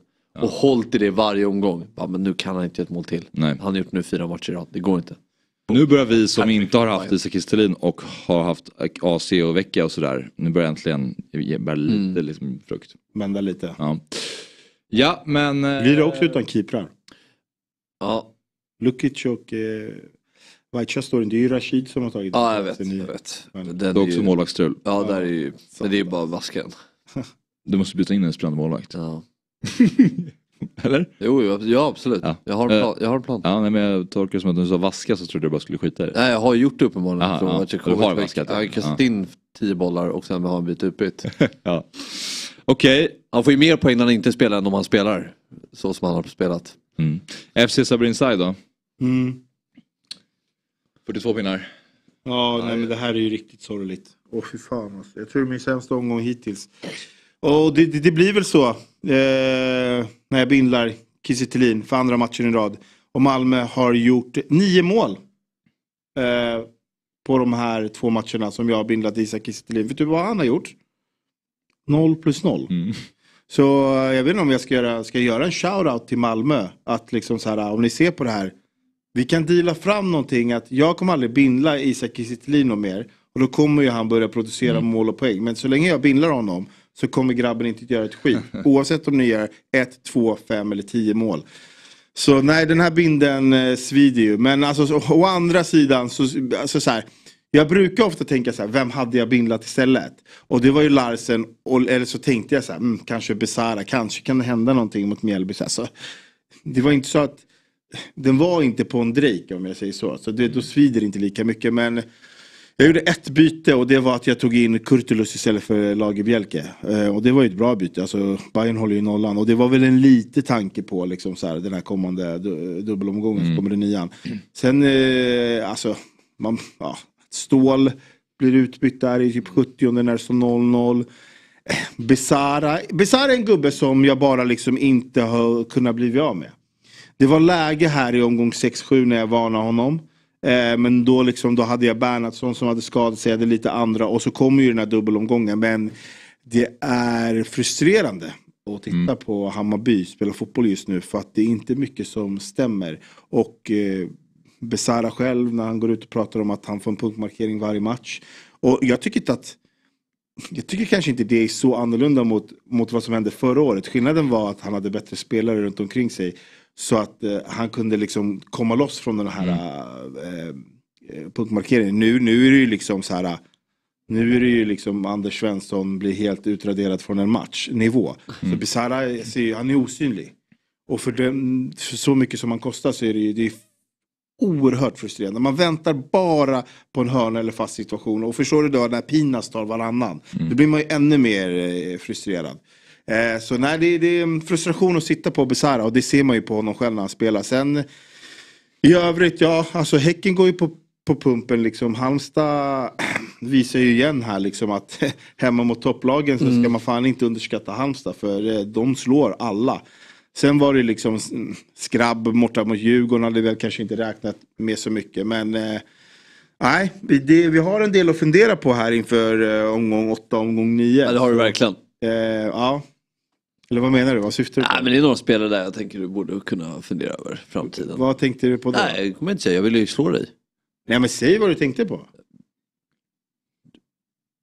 Nej men jag kommer inte säga vad, vad, vad du ska göra. Jag bara säger att du har en del att göra i det här laget. Jag känner mig oerhört trygg med vår tabell när jag ser det här laget. Ja men det är jag också. Ja. Alltså att, att sitta Du kvar, att måste sitta kvar, tänka om. Att sitta kvar Nej. med Besara till att börja med. Det, det, där, Jo, men nu det måste, kommer du, ju det, det måste du ha läst tidigare. Ja men nu kommer det kommer ju en dubbelgång. Men det är ju samma sak. Alltså okej, hade han fått en, Fast du har ju, hade han fått du en ju return här. en, en rejäl, du gör ju en rejäl miss här. När du tar in Berg bara för att han gör två mot, då är man ju, då är man ju lite för... Men det kan inte jämföra. För Berg är ju på väg åt rätt håll medan Besaras form är på väg åt helt fel Åh håll. men det kommer ju kanske vända där för Besara. Det, jag håller Jo, med. men det är som ni som har suttit på Men vilka- det är lite som men en- vilka syftar du på i det här laget då? Men jag kommer inte säga det. Nej, men jag, Okej, jag, syftar du på Lund? Nej, förmodligen inte. Du kan inte syfta på Kurtulus och Mamar för de har dubbel. Du kan inte syfta, syfta på Larsen, du kan inte syfta på Ondrejka, Traoré, Kistelin, Vukovic, svårt att se. Nej, exakt. Så jag, jag, jag, antar att han syftar på Mamar och Vu- Vu- Vukojevic som liksom, det är, ju inte speciellt sådär bra. Men de har ju en dubbel. Och det får man ju bara räkna med. Och det är ju, det är ju bara att jag har ju planerat på det sättet eftersom att jag eh, inte bestämt mig om jag ska parkera bussen eller om jag ska spela dubbla kaptener. Jag kan göra både och här. Eh, det jag vill få in är eh, jag kommer eh, byta in någonting från Djurgården. Men jag har inte riktigt bestämt mig för vad än. Eh, och det är där jag sitter. Det är frågan är om jag ska in med Elias Andersson och parkera en buss. Eller om jag tror på, ja men Djurgården, jag såg ju, jag såg ju Mjällby mot Bayern Jag tror att Mjällby kommer spela ganska likadant mot Djurgården. Eh, och eh, försöka liksom spela sin 4-5-1 och stänga ner Djurgården. Men jag tror att det kommer bli svårare Mm. än vad det blev mot Bayern. Så där tänker jag kanske en eh, eh, Berg. Mm. Tycker att han eh, ser finare och finare ut. Annars är det ju Asoro som Mm. börjar komma igång. Och som också är billigast av den där offensiven i Djurgården. Så lite där eh, sitter jag. Dubbla kaptener eller parkera bussen. Och jag har ju ett lag så jag kan göra båda. Det Mm. är därför hela planen med Mamaro och Vukojevic är från början. Så nej, det, det ser okej ut inför omgång nio. Huvudvärken är ju keepern. Ja, precis. Och då är det ju, frågan är om jag eh, i, i så fall skulle ta ut Olsson och sätta in Vaiho och dubbla Djurgården. Eh, Men då, har- då, vet, då kan man bara använda sig av en utespelare och den är också jobbig. Mm. Eh, så ja, det är lite Jag får, huvudvärk. Men jag har en plan. Jag får ibland folk som skriver till mig när de eh, vill med olika tankar och reflektioner kring eh, våra program och sådär. Och eh, ibland folk som vill rätta oss. Och eh, bara för att säga det då, så blir chippet heter ju då tydligen två kaptener. Vi brukar ju säga dubbla kaptener. Mm. Eh, och det har man ju sett såklart i spelet. Men man, man, är, man är fast i dubbla för det låter mycket bättre. Ja. Men officiellt så heter det två kaptener. Två kaptener. Ja, men Bara det så att alla vet att vi också Och vi vet inte det. om det heter allsvenskan fantasy eller fantasy allsvenskan. Men vad fan. Den har, den har man fått höra. Eh, men nu så tar vi oss till studiokampen. Och eh, där leder Snäcke fortsatt då. Vad är han Eh, idag? Är inte alla här? Eh, nej inte idag. Jag tänker att serieledaren ska sitta i stolen. och sen har vi eh, Granliden på femte plats. Ja, jag ligger sist av oss. Det är jag, inte bra. Sokrates, Fjäll och Sabri. Det såg ju väldigt bra ut för mig eh, även inför matcherna på, i, i, i tisdags. Men eh, Bayern var usla, Denalic var usel, inga poäng för Värnamo och inga Mm. poäng på Varbergs mål som inte stod. Så att det, blev, det blev inte så bra till slut. Tyvärr tog David Fjäll fler poäng. Men eh, fint att se de där 42 poängen på Sabri. Det gläder. Ja, det är folk som tar in det. Men det är den där... ja. Sen har vi ju Jalkemo som är helt ur balans. Men det, det var väntat. Ja, men det, Snäcke det är ju en sorglig ledare. Alltså, det, är- det, alltså, det är en mupp. Ända ut i fingerspetsen. Nej men du vet. Ja men du vet vad jag menar. Du vet, så här, han, han leder studiokampen efter 7-8 omgångar. Kommer in hit, är tyst som en mus. Men ska börja twittra från sitt eget konto om så här. Det här var mitt lag den här omgången. Jag missade kaptenen men kom hit och snacka då. Va? Sitta och twittra om att du leder studiokampen. Jag lackar på sånt där. Jag brinner ju. Det gör ju du också inombords. Du, du, får, eh, du får ta in honom igen då, och sen så får Han du... får en, max en chans till. Va? Eller? Ja, jo, men, Men ska man hålla på och snacka så här när man leder efter sju omgångar och börja twittra från sitt eget konto? Kolla på mitt lag, jag leder studiokampen. Mannen det ligger 400 i Sverige. Va? Ja, Jag går inte bättre än så nu? Kanske han gör, men vad fan, du förstår ju vad jag menar. Ja, ja, men... Jag lackar ju det, det är ju rimligt dock att ha ledaren i studion. Ja. Trovärdigt, en som är skicklig. Kan han försöka snacka nästa gång här. Det är bara kul att vara med. Du kan ju sitta och säga. Ja, vi ska titta på Fotbollsmorgons stora liga också. Mm, Vem leder där? Har det hänt något där? Det får vi se. Jerry. Lundberg leder med laget Yxikaxi Koivasto. Sen har vi... eh, Djurgårdare. Ja, det får man Jerry. väl anta. Ja, men, eh, Du vet vem det är? Ja, bra. Ja, okej. Mm, snyggt. Sen har vi ju eh, Hampus Björnstolpe med en tyngre omgång. Eh, Viktor Borell. Tung omgång. För... Eh, Nej men du ser det är, må- det är många, du ser där, Borrell håller sig alltid i topp. Det är många stjärnor där ute, stjärncoacher. Eh, som gick lite på plumpen. Så jag känner ju att fan det var inte bara jag, det är ju José Mourinho och Pep också liksom. Så eh, lite lugn kan ju vara i båten att de också gjorde en lite sämre omgång. Det är inga, det är inga high scorer alltså på topp 10 här direkt. nej, nej det är inte. Hasses sega gubbar, Simon Karlsson. Simon Karlsson tror jag är en skicklig fantasyspelare. Det känns som ett namn som jag känner igen. Vem? Eh. Hasses sega Ja. gubbar plats fyra. Men eh, nummer sju, eh, Fabbe, kan också vara en djurgårdare eller? Bravo Javre. Ja, det är nog många Djurgårdare där uppe. Vad har vi för fler? Skulle, vad, vad har vi för fler klubbar på Javre? Skulle det kunna vara Elfsborgs eh, snubbe? Ja, skulle det kunna vara Gävle Vann supporter? vann ni guld med Elfsborg? Han var med och vann guld med Elfsborg. Hamadou Javo. Ja. Mm, de där Djurgårdarna kanske bindlade en djurgårdare och inte en Kalmar-spelare mot Djurgården. Eh. Ja. Liam får skriva till oss, vilket lag håller du på egentligen Liam? Men eh, kommande omgång, omgång åtta. Får fråga, lackade du när Rajovic mål blev bortdömt? Nej. Då var det inte... Han satt så här på Tele2, han var så lack. Det var inte offside domaren, sluta nu! En enda Djurgårdare som ställer sig upp och bara börjar vifta mot domaren. Men du hade ju ingen aning om att du hade binder på honom så det spelar ingen roll. Nej. Men det hade man ju kunnat göra ändå. Det var ju, ja, vi pratade ju om det senast men när Todd Åkesson, när Kistelin satte ju straffen mot Kalmar. Och jag blir besviken. För att jag vill inte att Malmö ska vinna mot Kalmar. Och då säger han, men du har ju honom som cap i fantasy. Det är inte, alltså, det, Han har ju det- poäng dock. Alltså man kan, gör man, saker man, med en. Ja, man, blir, man kan bli jävligt färgad. och Men, jag, men, men- jag menar när det står så här, när, när, eh, när Malmö sitter och leder med 3-0. Då tänker jag bara så här, men låt Isak Mm. Ja, jo, det göra köper 4 jag. Ja, 5 ja. om jag har capat honom. Alltså, Ja. där är man ju, Men man lär ju sig hantera det där lite grann också. Alltså, nu hade jag inte så många Djurgårdare men det är klart att man sitter ju och tokkollar på Kalmar såklart på Tele2 i den matchen. Ja det är därför jag kör ju taktiken undvika spelare. Från AIK Hammarby. Ja, mm. offensiva spelare. Ja, just nu så är det ju lugnt för att de är så bedrövliga. Men kommer lugnt om de till. kommer igång då kommer Nej, året ut. ja, Vad säger du om eh, omgång 8 här då? Ja men eh, spännande såklart. Vi har ju ett Stockholmsderby, sticker ut. Sen har vi ju, eh, det blir intressant att se. Jag tror nästan att Malmö kanske åker på sin första plump här. Ehm, och sen har vi ju möte på måndag som är ju en, ett, ett, ett stormöte. I övrigt så, ja, jag gillar ju alla allsvenska matcher. Jag får se om Norrköping kan trumma på. Det finns ju en spelare där som man kanske borde ta in i Peking och då tänker jag inte på Sigurdsson. Tänker du på Totte Nyman kanske? Tänk på Jesper Ceesay. Nej men Totte såklart. Nej, tänkte men det lät så en seriöst. fin, eh, alltså okej, nu på måndag då blir ju mer en fin match. Men där kanske man inte sitter så mycket fantasymässigt. Men eh, kul med Häcken först ut. Ja men Degerfors. den här är ju, det här är ju en match man, eh, du nämnde ju Game Week 9 Axel. Här är ju match som man Omgång tänker... eh, Fan vad han har umgåtts med vet du, oraklet mycket känner jag. Han pratar bara Game Week och Ja, double det, är enda, Game det är Week. det enda som pratas om här. Man får ju aldrig syl i vädret för att bara ska prata fantasy. Första som händer när, när, när någon kommer in här det är att ja, bindlar du Watkins? Kunde bry sig mindre. Nej. Va? Nej. Nej men du, då, då borde väl du inte vilja säga det. Säg omgång då. Ja, Okej, omgång 9 då. Eh, men jag tänker här är ju Häcken, det här kan bli, jag tror det kan bli blodigt alltså. Det kan bli många mål. Degerfors måste, för jag tycker Degerfors defensivt inte är så starka. Och jag tror att eh, Häcken är extremt sugna på att vinna den här matchen. På pappret så borde väl Elfsborg kunna köra Värnamo också men Värnamo vet man inte riktigt. Nej, det de kan, tycker- de nej, kan, tycker- de kan stå upp. Alltså så här, det är klart, de kan stå upp. Men det känns som en, alltså så här, ett målglatt lag, Elfsborg. De, de trummar ju på, alltså det var ju så här, de såg ju riktigt sega ut senast eh, mot Sirius. Och sen eh, trummade de ju på rejält. Eh, men jag tror att det där kan bli en ganska svängig match. Eh, om jag ska vara helt ärlig. Sen, eh, det blir ju intressant just att se faktiskt hur Halmstad nu står upp mot Malmö. För nu har de gjort det bra mot AIK, Djurgården och Häcken. Nu kommer Malmö.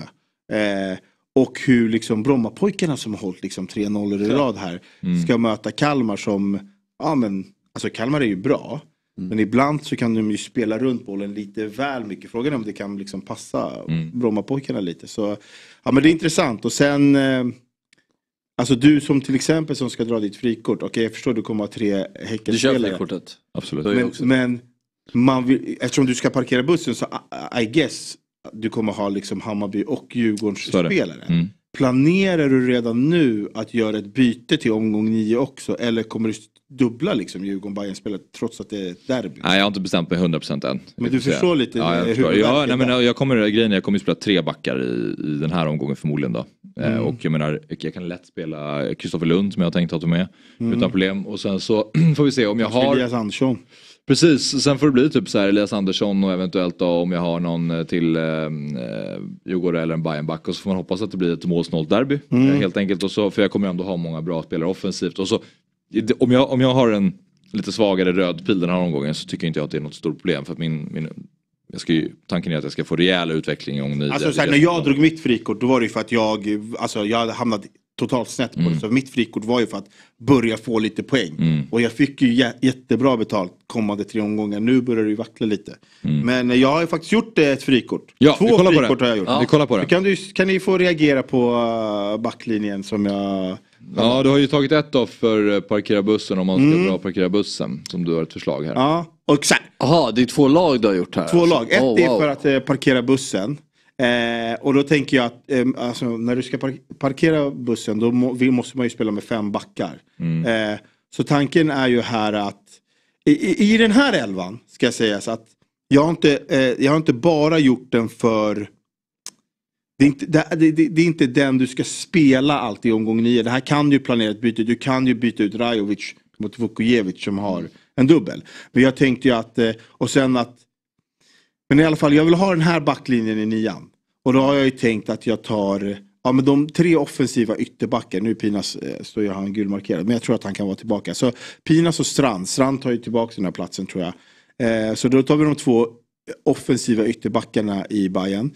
Vi tar den offensivaste ytterbacken i Djurgården. Och sen ändå en Danielsson som jag tror ändå Alltså jag menar så här, man har Häcken hemma. Häcken är inte superstarka på fasta situationer. Även om man liksom eh, gjorde mål senast då mot Djurgården. Eh, Det är väl Häcken hemma?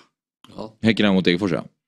Bra. Eller hade det stått fel där? Djurgården har ju Häcken hemma i, eh, i uh, tian. Som, i omgång tio. Som är väl, som ni säger, Game Week 9. Alltså de har ju Mjällby och Häcken efter. Du ser ju där. Ja, precis. Ja, de är Häcken. Ja.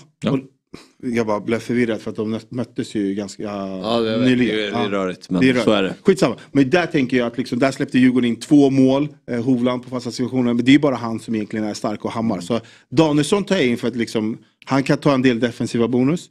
Eh, och att han kan vara eh, bra på fasta framåt. Så det här är ju min dröm parkera bussen backlinje. Och jag vill, ha, jag vill dubbla Djurgården för att de har två hemmamatcher. Kan jag, kan jag fråga dig? Eller, ja, nej, fortsätt. Nej, kör. Nej.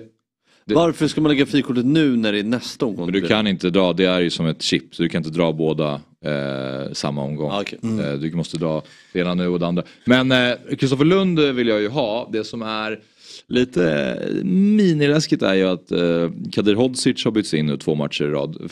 Lund spelar ju 90 fram till omgång 5. Och sen omgång 6 och 7 så har Kristoffer Lund bytts ut i typ 80 mot Hodzic. Jag tror inte att han kommer... Att Perfekt. kommer få Står 0-0 i åttonde. Ta, ta det. Jo, men jag menar bara så här, säg att han en av de här matcherna skulle få starten och vila Lund och testa Hodzic en match.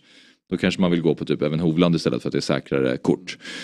Men eh, jag undrar Sabri hur du tänker här för att du har lite onödigt mycket, alltså vilka ska du spela här? För att du, har, du, har, du vet att du, har en, du måste spela en fembackslinje. Så då, har du, då har du ju fem spelare kvar offensivt. Vilka fem av de här offensiva alternativen ska spela? Då måste du ju kvista typ Campos med två matcher. Eller ska du kvista, Ja, alltså eller ska du spela 5-4-1 och ha Rajovic på bänken? Egentligen behöver jag inte ha Campos här inne. Eh, det var bara för att ge ett extra, jag hade förmodligen kanske uppdat, upp, uppgraderat en keeper istället för Campos. Men det var bara för att få in något, något, tech, eh, något Degerfors alternativ. Men jag hade ju spelat, eh, Rajovic är inne för BP hemma då. Eh, till att börja med eh, i, i nästa omgång. Så Larsen, Djukanovic, Wikheim är ju de tre jag vill spela framåt om jag ska spela 5-3-2. Så Ja. Eh, för att jag, jag, nej, men det, det, det är tre offensiva fina gubbar som jag tror kommer få start eh, i båda matcherna här. Mm. Traoré är ju given. Sen är ju den här extra forwarden om man vill då spela med, om man vill spela med eh, Vukojevic, absolut. Stoppa in honom. Han, alltså, Vukojevic är en kille som absolut är i toppen. Han skapar väldigt mycket lägen. Det är han som kommer till lägena i Degerfors men han sätter ju inte dit den. Han är ju lite, lite, lite, Alltså- lite träben där.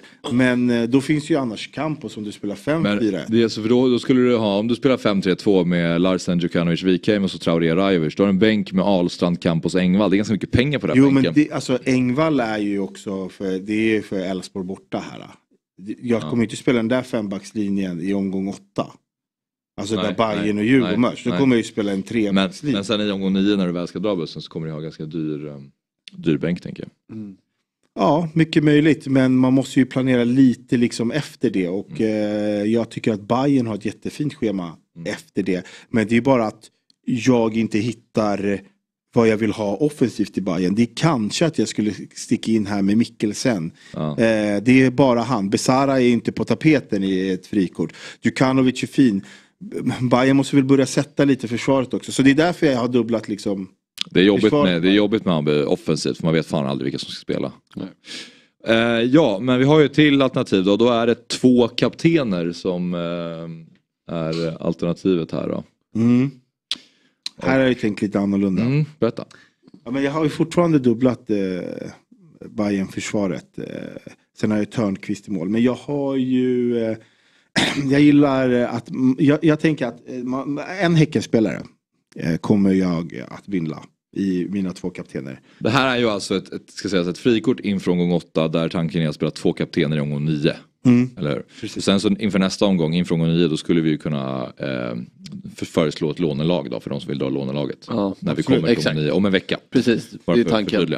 Nej men då har vi också, då har vi ju, eh, alltså du, du kan börja med att spela liksom stål hemma mot Sirius i nästa omgång, liksom tänka lite där. Sen har man in Jensen som också har en bra, de, han har en bra match i omgång 9 som jag gillar, Varberg hemma.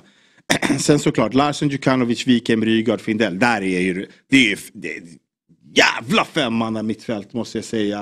Eh, när det kommer till dubbla kaptener i omgång 9. Ruggigt, ruggigt fint. Så vi kommer ju spela en 4-5-1 eller så kan du spela en 3 en 3-5-2 Men eh, här. får jag bara fråga, Viking kostar inte 9,8? Kostar 8,5? Nej, kanske du har rätt. Nej du har rätt, ja, det kanske står Ja. fel där. Det, det gör det. Han kostar 8, någonting. Han kostar 8,5 ja. De har eh, mixat med siffrorna. Men det är inte så lätt. Vi får inte ta ut de originella, vi får sitta och skriva allt fan. Så Ja, ibland okej. blir det fel. Men, eh, men återigen, eh, Rajovic inne här mot BP hemma. Eh, Traoré känns given. Men här, här har jag tänkt så som du tänkte med Lund. Eller en Häckenförsvarare att de håller ju sällan nollan. Och de släpper alltid in ett mål. Så här har jag ju tripplat Häcken-offensiven. Och det tycker jag är väldigt fint. För jag tror att man kommer släppa in mål mot Malmö borta. Jag tror faktiskt att Djurgården också gör ett mål på Häcken.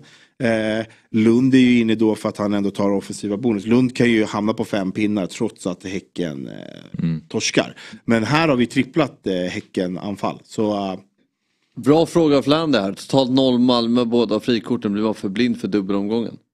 Alltså det känns som om man kan bli det. Eller? Ja, men jag hör vad han säger. Men Halmstad borta skrämmer mig lite när det kommer till Malmö. Jag tror inte de får den här 3, 4, 5. Jag tror att det blir en tuff match. Sen har man Häcken hemma. Och då är det också så här, ja, vem ska in här? Ja, ja, du kan peta in Anasi och göra ett enkelt byte tillbaks till Larsen eller till någon annan i omgången efter. Eller eh, Wikheim om du så vill.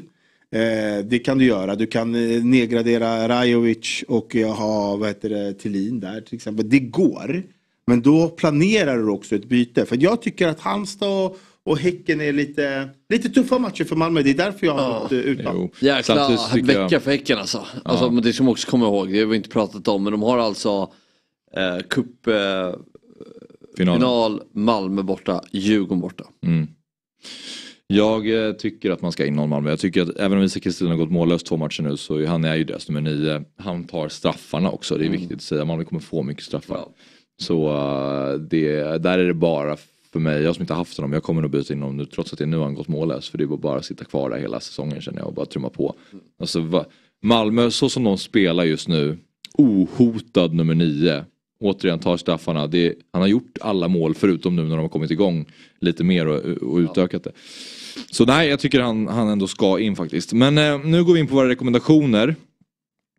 Och eh, ja, vi kan börja med försvar då och då har Sabri eh, valt Alexander Jensen i BP. Ja, otroligt. Eh, alltså spelar ju någon form av högerforward eh, ibland, högerwing. Eh, otroligt offensivt, alltså tagit 40 poäng. Alltså det är sjukt. Eh, 4,5, otroligt offensiv eh, spelare i, i, i BP som eh, ändå hållit liksom 3-0. Visst, nu kanske man möter Kalmar borta och den är tuff. Men sen har man Varberg hemma och Sirius hemma. Det tror jag är matcher som passar BP väldigt bra. Och det är också en spelare som om du nu har två fria byten inför den här omgången till exempel. Och känner så här, hmm, fan, jag behöver nedgradera någonstans så att jag har, men jag vill ändå utnyttja ett byte. Jensen, toppenfin eh, gubbe alltså. Och jag tror liksom underskatta inte BP. De har ju visat att man inte ska underskatta dem. Och sen har de ju liksom två hemmamatcher på rad efter, efter Kalmar borta. Och eh, ja, som sagt, eh, han har tagit 40 pinnar. Kostar 4,5 i val av 3,7. Så det är, det är en gubbe man ska hålla utkik på. Så um, absolut, Alexander Jensen. Jag gillar den faktiskt. Ja. Fredriksson i Häcken. Ja men många snackar om Lund och då tänkte jag att eh, men han är också väldigt bra. Eh, Och eh, har 20 29 poäng är inte heller så dåligt valt av 4,7 procent. Så, ja, här, man tänker lite annorlunda att alla ska sitta på Lund eh, och jag tycker inte att det är så stor skillnad mellan de två. Faktiskt. Nej. Alltså rent spelmässigt Nej. eller? Och, Men- nej. Ja. Men han, han fyller ju också på och gör poäng. Eh, så, Mm. eller vet inte hur många poäng gör men finns, finns det någonting där tycker jag. Ja, Thomas Tottland är väl den som har eh, kommit in istället för Fredriksson. Ja, men för, jag vet inte, alltså, är han lika offensiv som Lund då? När du tittar på Häcken? Han känns lite mer defensiv, men jag vet inte. Mm. Men- Nej, jag upplever inte det. Nej, Att han inte är lika nej jag upplever att Kristoffer Lund är mycket offensivare. Ja, precis. Ja. Ja. Mm. Och det är väl Ja, lite därför man har haft honom. Och, men nu, nu ska de ju också möta Malmö och DIF. Så man kan börja tänka på de defensiva bonusarna. Där är han ju faktiskt bra. Mm. Han har tagit mycket mer defensiva bonus än offensiva bonus. Eh, Asoro, mittfältsval. Mm. Eh, nej men alltså väldigt, så här, väldigt val, skulle säga, väldigt eh, många som valde honom i början av säsongen för han var den billigaste Mm. mittfältaren i ett premiumlag sådär. Men eh, det är, Ja, först, det är först nu som han börjar komma igång. Så här, han eh, avslutade ju bra i Djurgården förra året. Djurgården spelade i Europa, då var han också helt okej. Eh, så här, jag tycker att Djurgårdens problem, eh, alltså av de topplagen som inte ligger i toppen så tycker jag ändå på något sätt att Djurgården har minst problem. Det är så här, grundspelet sitter, det är målskyttet som inte är där. Alltså spelarna som ska göra mål har svikit laget och då pratar jag främst om Edvardsen och Berg. Eh, så nu när eh, Asoro, ja men det gick ut och klagade lite, det har varit lite skriverier om honom så gick han faktiskt in och levererade hårt här senast. Eh, och jag tror att det är en spelare som boostas av självförtroende. Och Djurgården Och spelar ju anfallare. Men han är mittfältare på spelet. Det är också, eh, alltså, nu är han ju men nia. det vet ju alla. Ja, Eh, jo, eller jo, kanske ja. inte de nyaste men... Eh, Fast det är skillnad att vara ytter och anfallare. Nu är han ju verkligen nia. Alltså, Mm. så. Så nej, men jag tror att det, det, det är en spelare som boostas av det här självförtroendet och eh, liksom så här, han kostar ju inte så mycket.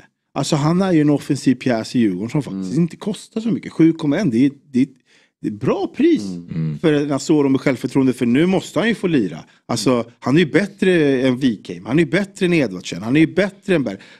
De inser ju att man måste ha, Djurgården måste ha den där speeden. För att det blir liksom lite så här... äh, Det som jag tycker är läskigt med att välja honom i, nu för min egen del, ett frikort till exempel inför dubbelomgången.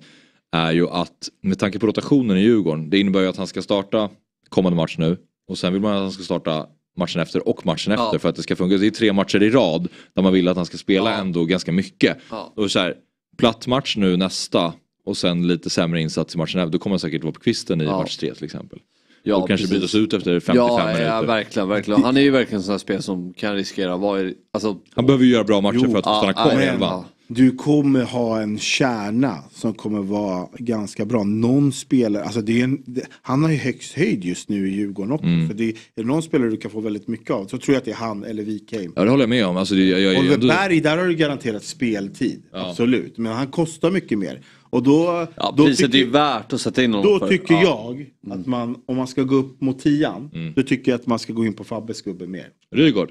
Ja, nej men ja, jag tycker ju att han är ju men, lite överpris egentligen för att rekommendera. Eh, men eh, gjort mycket poäng, ser ju 43. Möter ett lag som jag tror är tacksamt för honom. Jag tror här kommer han lira och, eh, och göra och producera många poäng. Alltså spelpoäng Mm.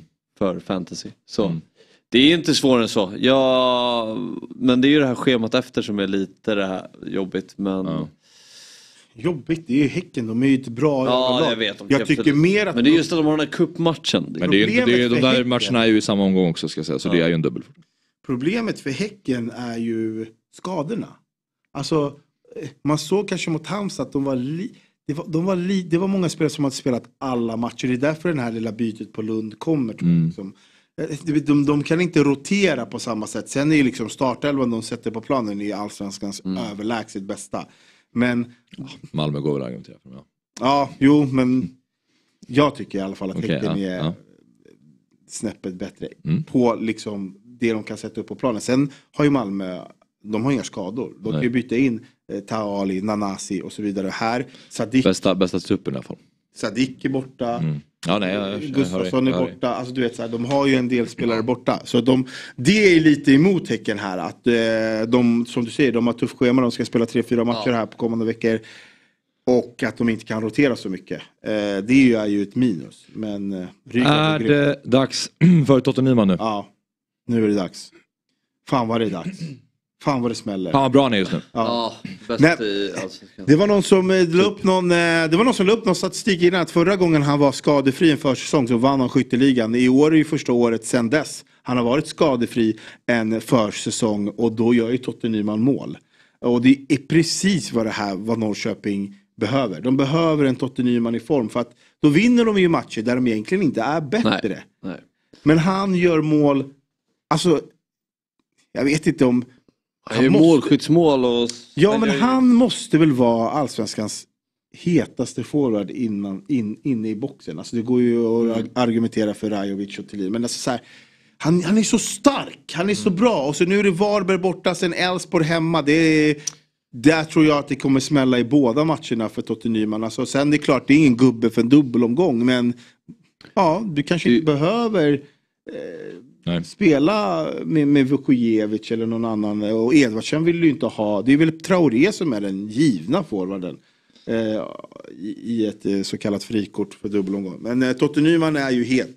Och eh, det är kanske där du skulle gått på istället för Ma- Marcus Berg. Men, eh, Jo, det är så, i, efterhand, så, i efterhand såklart alltså, ja. Jag tror du skulle byta ut en, en Ja. het spelare. Ja. Men jag gillar Totte Nyman. Han börjar komma igång. Och, eh, Ja. eh, men Fabbe sparkar in en dörr.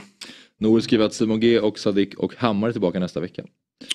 Ja men Det eh, bra Varberg, eller eh, Nyman behövs ju i de här matcherna mot Varberg, lite tunga, kanske behöver grisa in en boll, lite som han gjorde mot eh, Ja, det hur mycket problem har inte Varberg? Alltså det här Ja. med att, som man pratar, det är så jävla svårt att komma och spela Nej det borta är ju, mot det är ju Varberg. Det är, det är, det är, de- mot, det är, de var seriens näst sämsta hemmalag förra året. Så det, Ja, det det, där det är en jävla myt. Ja det är en myt. Och, och de i är år har de hemma, visat men- ännu mera. Vilket Ja. Dåligt försvar de har. Ja, jag vet. Men samtidigt så är det ju, ehm, ja, nej men absolut, men de har ju så här fysiska starka mittbackar ändå. Och Ja absolut, kräva- men ja. de behöver inte äh, ånga på inlägg här. Nej, men de, nej, nej, nej, det är sant. Rajovic? Ja, nej men det finns inte någonting att säga. Han har bevisat att han är bra och gör mycket poäng. Mm. Och nu möter de BP hemma. Glasklart. Ja, nej men Inga konstigheter. det är ingen superrolig rek men jag tror på honom och därför rekar jag honom. Bra. Eh, Sabri, du varnar för eh, Gudjonsen. Ja. ja, men det är ju för det vi har varit inne på. Eh, så här, det är bra match, absolut. Men vad fan. Man, de kan inte göra tio mål och han gör ett. Då finns det bättre gubbar. Eh, och han blir alltid utbytt. Alltså jämt. Eh, men jag varnar lite där. Det är folk som sitter där och kämpar. Jag tror inte så jävla mycket på Gudjonsen. Han har inte det där. Nej. Jag gillar när spelare har det där och han har inte det. Har han inte det då? Nej. Du, Jag tror att du de- har alltid hävdat det. Förra året, han gjorde ett Ja. drömmål förra året. Och sen har du fastnat Ja, jag, tycker att, jag tycker att han är bra. Men, Han eh, har inte det. det, det är- vet, vet du vad problemet är? Det är att han max får spela 55 minuter varje match. Ja. Låt honom spela 90 så kanske han får göra några mål mellan minut 70 och 90 också när det öppnar upp sig. Kolla på Elfsborg när de slog eh, Halmstad med 6-0. Kolla när de mötte Sirius. Målen görs ju i slutet och då får inte Gudjonsson vara på plan. Nej. För att han blir alltid utbytt. Nej precis. Nej jag håller med. Jag har svårt att få en bild om hans, alltså, svårt att få en bild av hans status där i. Ja men det var som så här. Jag, jag ska vara helt ärlig, när jag kollade matchen mot Sirius, eh, mellan Sirius och Mm. Elfsborg. Så kände jag så här att Thelin, han bytte bort matchen på något sätt. Alltså så här, jag tänkte, nu har han bytt, han, han bytte ju bort sig. Alltså Elfsborg hade lite momentum, men jag byter, det blir sämre, de släpper in 3-2. Eh, sen, sen lyckas de ju bara vända på det gång efter gång efter gång. Så eh, de har väl fem segrar i rad, så man kan ju inte säga så mycket om, om att hans byten inte får effekt. För det får de ju, tydligen, uppenbart, eftersom de vinner. Men eh, det, det är ju det som är frustrerande med Elfsborg. Eh, men den här gubben måste ju varnas då. Dels att han inte gör mål, trots att de gör väldigt mycket mål. Han gör inga assist. Han springer runt där som nia och sen blir han utbytt till 55, 60. Det är bara... Ah, nej, jag är trött på gubben. Alltså jag, ah, jag Ja, nej, jag, jag kommer ju inte ha kvar ett frikort. Så är det ju. Men, eh, jag hade hellre haft Gustav Engvall. Han känns het. Rui Modesto. Ja, nej, men det är bara att titta här och kolla priset. Det är lika mycket för en anfallare som en ytterback som jag tycker, alltså, han har gjort poäng men, och han är vald av väldigt många men jag tycker nästan man kan få billigare alternativ på den positionen. Framförallt i ett AIK som knackar väldigt mycket. eh, eh, i, i spelet och i resultaten. Så jag tycker att Modesto, och så nu har han ju varit skadad också. Eh, så jag vet inte, det känns som man kan hitta bättre alternativ i, än, än honom i, i sitt bygge. Jag vet inte om du håller med men... eh, Alltså, ska se om vi kan få upp den igen men eh, jag kan tycka att eh, han är AIKs bästa spelare under många matcher. Eh, Det håller och, jag ja, men alltså, jag, jag, jag ska komma till det är också seriens nästans lag. Precis, det är ju det som är problemet att AIK eh, är inte särskilt vassa just nu.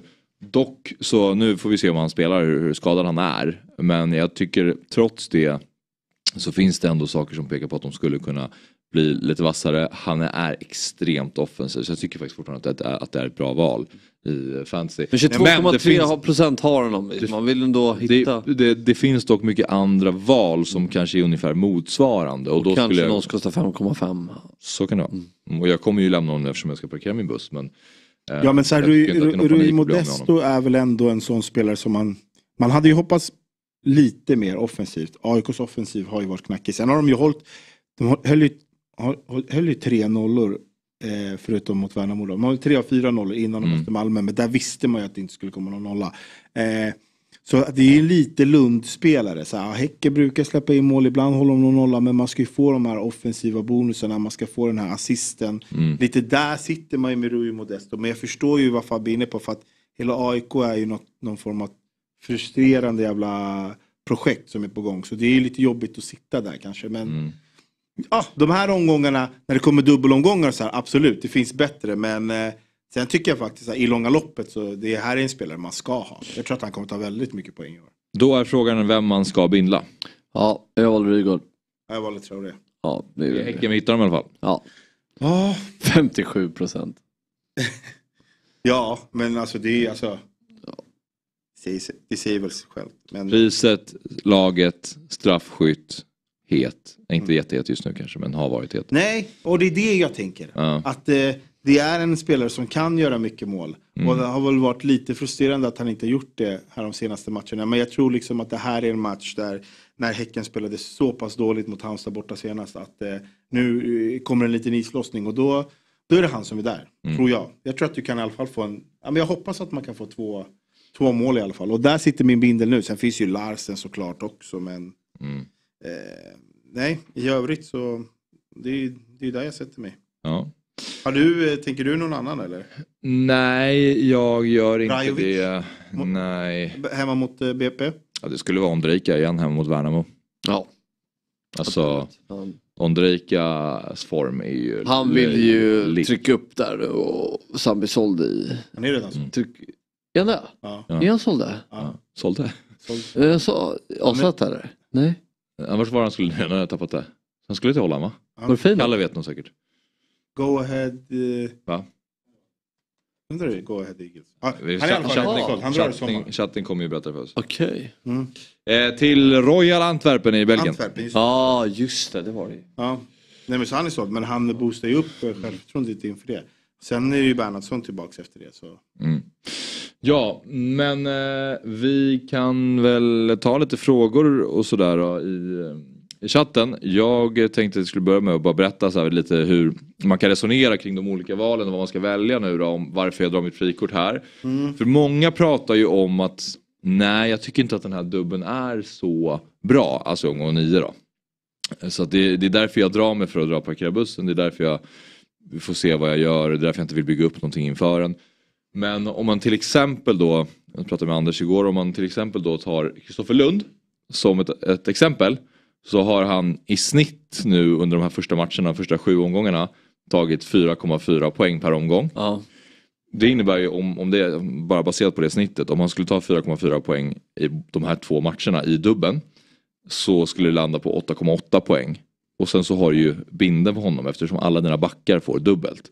Så då får du ju en jäkla träff där. Och det är baserat på, det här är ju 4,4. Säg att han dessutom liksom håller någon nolla eller eh, får ännu mer poäng än så. Samma med Djurgården eller Hammarby spelare. Nollorna är ju såklart det man eftersträvar men det behöver ju inte vara en dålig buss utan en enda nolla. För att det räcker ju med att en spelare får tre poäng i en match och sen tre poäng i efterföljande match. För till exempel Kurtulus.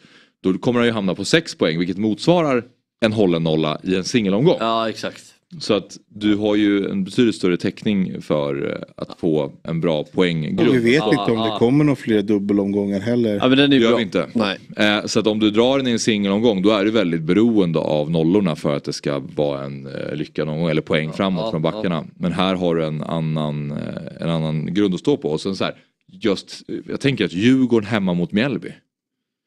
Kolla på hur anfallströtta Mjällby har eh, varit. Ja det är, det är exakt. Det är Alltså, bra. Ja, men det- det, är klart, alltså- det, är, det är klart att det finns stor sannolikhet att de håller nollan där. Och sen så tar de två, tre extra poäng i match, nästa match. Det är väl Häcken hemma då. Men jag, alltså jag ser ju en fördel av att eh, även om det är mycket snack nu om, om, om, om plastgräset på Tele2 att Djurgården inte gillar det. Så är det fortfarande ett lag som är mycket bättre på hemmaplan. Och Djurgården är ju det laget som har två hemmamatcher. Eh, så jag hade absolut haft med man måste ha med två Djurgårdsbackar om man ska spela parkera bussen här. Det, det, det, det tycker i alla fall jag. Då kör jag nog Piotr och Elias, Elias Andersson. Tror jag. Jag tror också, Mm. jag låter också Men Piotr, alltså hur mycket, hur mycket, vad gör han framåt? Det är fortfarande den här drömmen om att han ska göra någonting framåt. Nej, Det händer ju aldrig.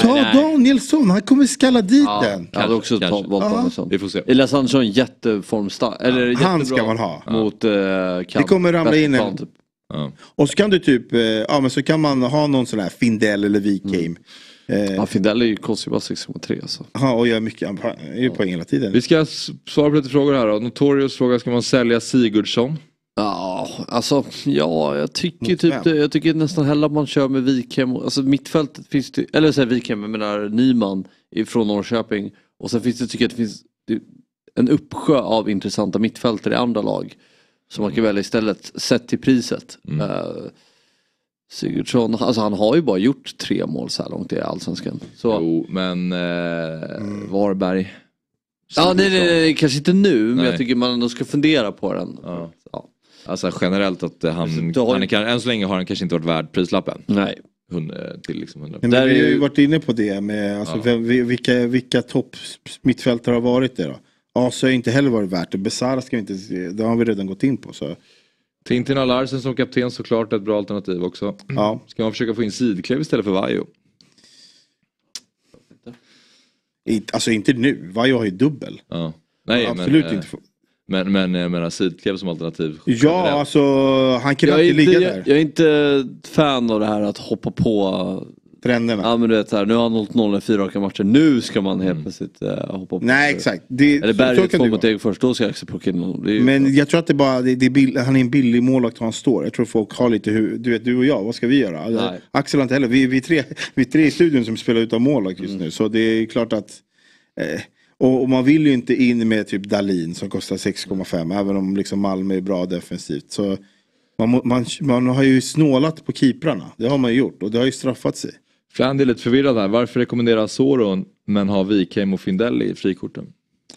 Ja men jag gjorde ju faktiskt frikorten innan jag eh, eh, gjorde mina rekar. Men jag ville, jag ville bara ge lite olika typer av alternativ. Eh, det var ju mer, alltså jag hade gärna fått, vilja få plats med Wikheim och Asoro. Mm. Eh, men då valde jag istället eh, Findell. Jag måste säga en spelare som jag tycker att man inte ska underskatta här. Det är Säg inte Edvardsen. Hugo Larsson. Mm. Hugo Larsson kostar 5,6. Mm, mm, mm. Han Bra. är gjuten. Han har än så länge tagit mer poäng än Stefano Vecchia. Ja. Än Lasse Nielsen, än Anders Christiansen, Ta Ali, Sergio Peña. Det är jättebra. Sören Rex. Det är såklart Isak Kiese några backar, Nanasi med sitt hattrick. Sen är det Hugo Larsson. Han eh, har gjort både mål och assist och eh, har eh, en ex, alltså så här, han spelar i Sveriges bästa lag. Ibland ska ju inte in, in i mittfältarna, de, de, de ska inte bara, för det är lätt tänkt yttrar och Mm. yttrar som, eller mittfält som spelar för anfallare typ. Mm. Men man ska inte underskatta de här in i mittfältarna som ändå producerar och ändå får lite bonuspengar. Och Vad har han tagit i bonus? Eh, Jag tycker att i ett exempel, Blåvitt borta. Han gör inte en poäng framåt men han landar på sex poäng totalt i fantasy. För att han håller nollan, han tar två Mm. offensiva bonus, han tar en defensiv bonus. Han har tagit fyra offensiva och sex defensiva bonus eh, totalt. Vad kostar han? 5,6. Alltså man ska, inte, man ska inte förvänta sig att Hugo Larsson kommer att eh, producera jättemycket poäng framåt sådär. För bara för att han har gjort de två senaste matcherna. Men med det Malmö som man ser, alla flyter runt och gör lite vad som helst. Det känns som att han, han kommer göra poäng. nej, men inte lika, inte lika stor utsträckning som Anders Nej, men Christiansen han- och Vecchia och så Han vidare. är Men- ofta i straffområdet. Han är Ja. ofta i och runt i straffområdet. Och liksom så här, mm, nej, det är absolut ett alternativ. Ehm, ska vi se här, vad har vi för mer frågor? Vilka får man inte missa om man kör lånelaget nu till helgen? Ska Berit köra lånelaget i omgång åtta? Det låter Det låter ju lite dumt. dumt. Jag hade ju använt det i omgång 9 eller omgång 18. Men om det är så att, jag tror Berit är ganska ensam här, men eh, om det är så så ja, då är det bara skicka in mycket Häckenspelare, mycket Elfsborg. Elfsborgsspelare och mycket Kalmar. Kalmar och några Malmö liksom. Ja. Slippa, eller skippa derbyt. Ja. Skippa, Skippa AIK Göteborg. Skippa AIK Göteborg. Ja. Skippa Mjällby Sirius. Ta kanske Totte Nyman och krydda med också. Jimmy Guidetti. Här har vi också Albin Holmgren, bästa spelaren i ett lånelag denna omgång. Intressant att det är så många som frågar om lånelaget omgång 8. Borde man förstå varför folk är så intresserade av att köra lånelaget omgång 8. Något speciellt med omgång 18? Ja, 18 är ju den eh, eh, blanka omgången. Mm. Eh, då de här fyra som har eh, dubblar inte har matcher. Så att den blir lite komprimerad. Det är inga matcher Det- det- för Djurgården, Hammarby, Degerfors och Häcken. Om vi har en som absolut inte planerar så har vi en Mm. som ändå planerar lite. Så mitt lånelag har ju alltid legat på omgång 18. Och att, ja. Sen vet jag inte hur mitt lag kommer se ut. Nej. Det är det jag Man kanske ändå inte sitter, men säg att Hammarby, det är ju Häcken kommer man ju ha spelare från. 100%. 100 Bayern någon, Djurgården någon. Så. Eh, så det kommer säkert gynna en att dra lånelaget där också. Shacklebolt funderar också på lånelaget här. Ja men eh, det är spännande. alltså, då måste- spännande, ja då är det ju bara att köra. Pratar de om omgång 8? Så är de seriösa? Eh, Albin Holmgren säger, jag funderar också på det, det känns som en stor edge mot de som drar frikort. Kalmar, Norrköping och Elfsborg kommer inte många sitta på samt fem plus Häcken. Ja, delvis, men det är väl många som kommer sitta på Elfsborgsspelare och eh, någon Kalmar, någon Norrköping. Ah, Norrköping kanske man sitter hyfsat ensam på. Men så drog frikortet förra omgången så sitter bra inför eh, nian. Ja, Okej, ja men det är också en strategi. Mm. Man drar om, eh, frikortet omgång sju, lånelag omgång åtta, parkerar bussen omgång nio. Mm. Eh, absolut. Däremot så eh, tycker jag att det är alltså, man kommer få ihop ett rätt bra lag här ändå. Jag kollar på ditt lag till exempel, du har ju bra spelare för alla matcher. Mm. Jag är tveksam till om det är så stor edge. Det är lite edge Alvin kanske mot oss som drar frikort eftersom jag kommer behöva ha massa backar Hammarby och Djurgården men ja, osäker. Jag, ha, jag har en liten varning till. Som jag tänkte. Och det är ju Alexander Johansson. Heter han så? I Mjällby. Ja. Ja. Eh, blir ofta utbytt nu. Mm. När Moro kommer in. Ja, där Och- har det stannat lite. Och där har det stannat lite och att Mjällbys offensiv liksom också typ på något sätt har trappats ner. Mm. Och där sitter ju fortfarande väldigt många kvar. Ifrån liksom att de hade de där toppenfina omgångarna i början. Mm. Så där kan man faktiskt börja kliva ifrån. Även om det är min gubbe, jag älskar honom. Mm. Men nu byts han ju ut mot Moro oftast. Så mm, man får akta sig lite där. Ja, vi ska avsluta. Uh, Fabbe, starkt jobbat av dig idag. Du har kört från 7 till 10 nu. Ja, jag kände nu i slutet där, man blev lite... Lite, lite trött, jag förstår det. det, så att de är, det- man det svårt att sitta still också. Det är extremt varmt här inne. Ja. Du har gjort en stark fotbollsmorgonvecka, du ska få avsluta den imorgon också. Ja. Då är det du och Jesper och Robin här i, i, i studion. Så då har du bara fått vilodag onsdag egentligen. Dream team. Tufft Ja, för dig. men då känner vi nollat. Men du får Okej. vila på lördag också. Ja, då är det match. Då är det match för Stocksund. Hemma, borta? Ja, viktigt med en seger för det där, men det kommer ni säkert prata mer om imorgon. Tack för idag hörni. Tack för idag. Tack själv. Lycka till allihopa i omgång åtta. Eh, Vi är tillbaka med eh, mer allsvenskan fantasy som vanligt nästa torsdag och då kan vi ge lite andra exempel på fler eh, lånelag. Så vi hörs då. Fotbollsmorgon presenteras i samarbete med Stryktipset, en lördagsklassiker sedan 1934. Telia, samla sporten på ett ställe och få bättre pris. Thank you.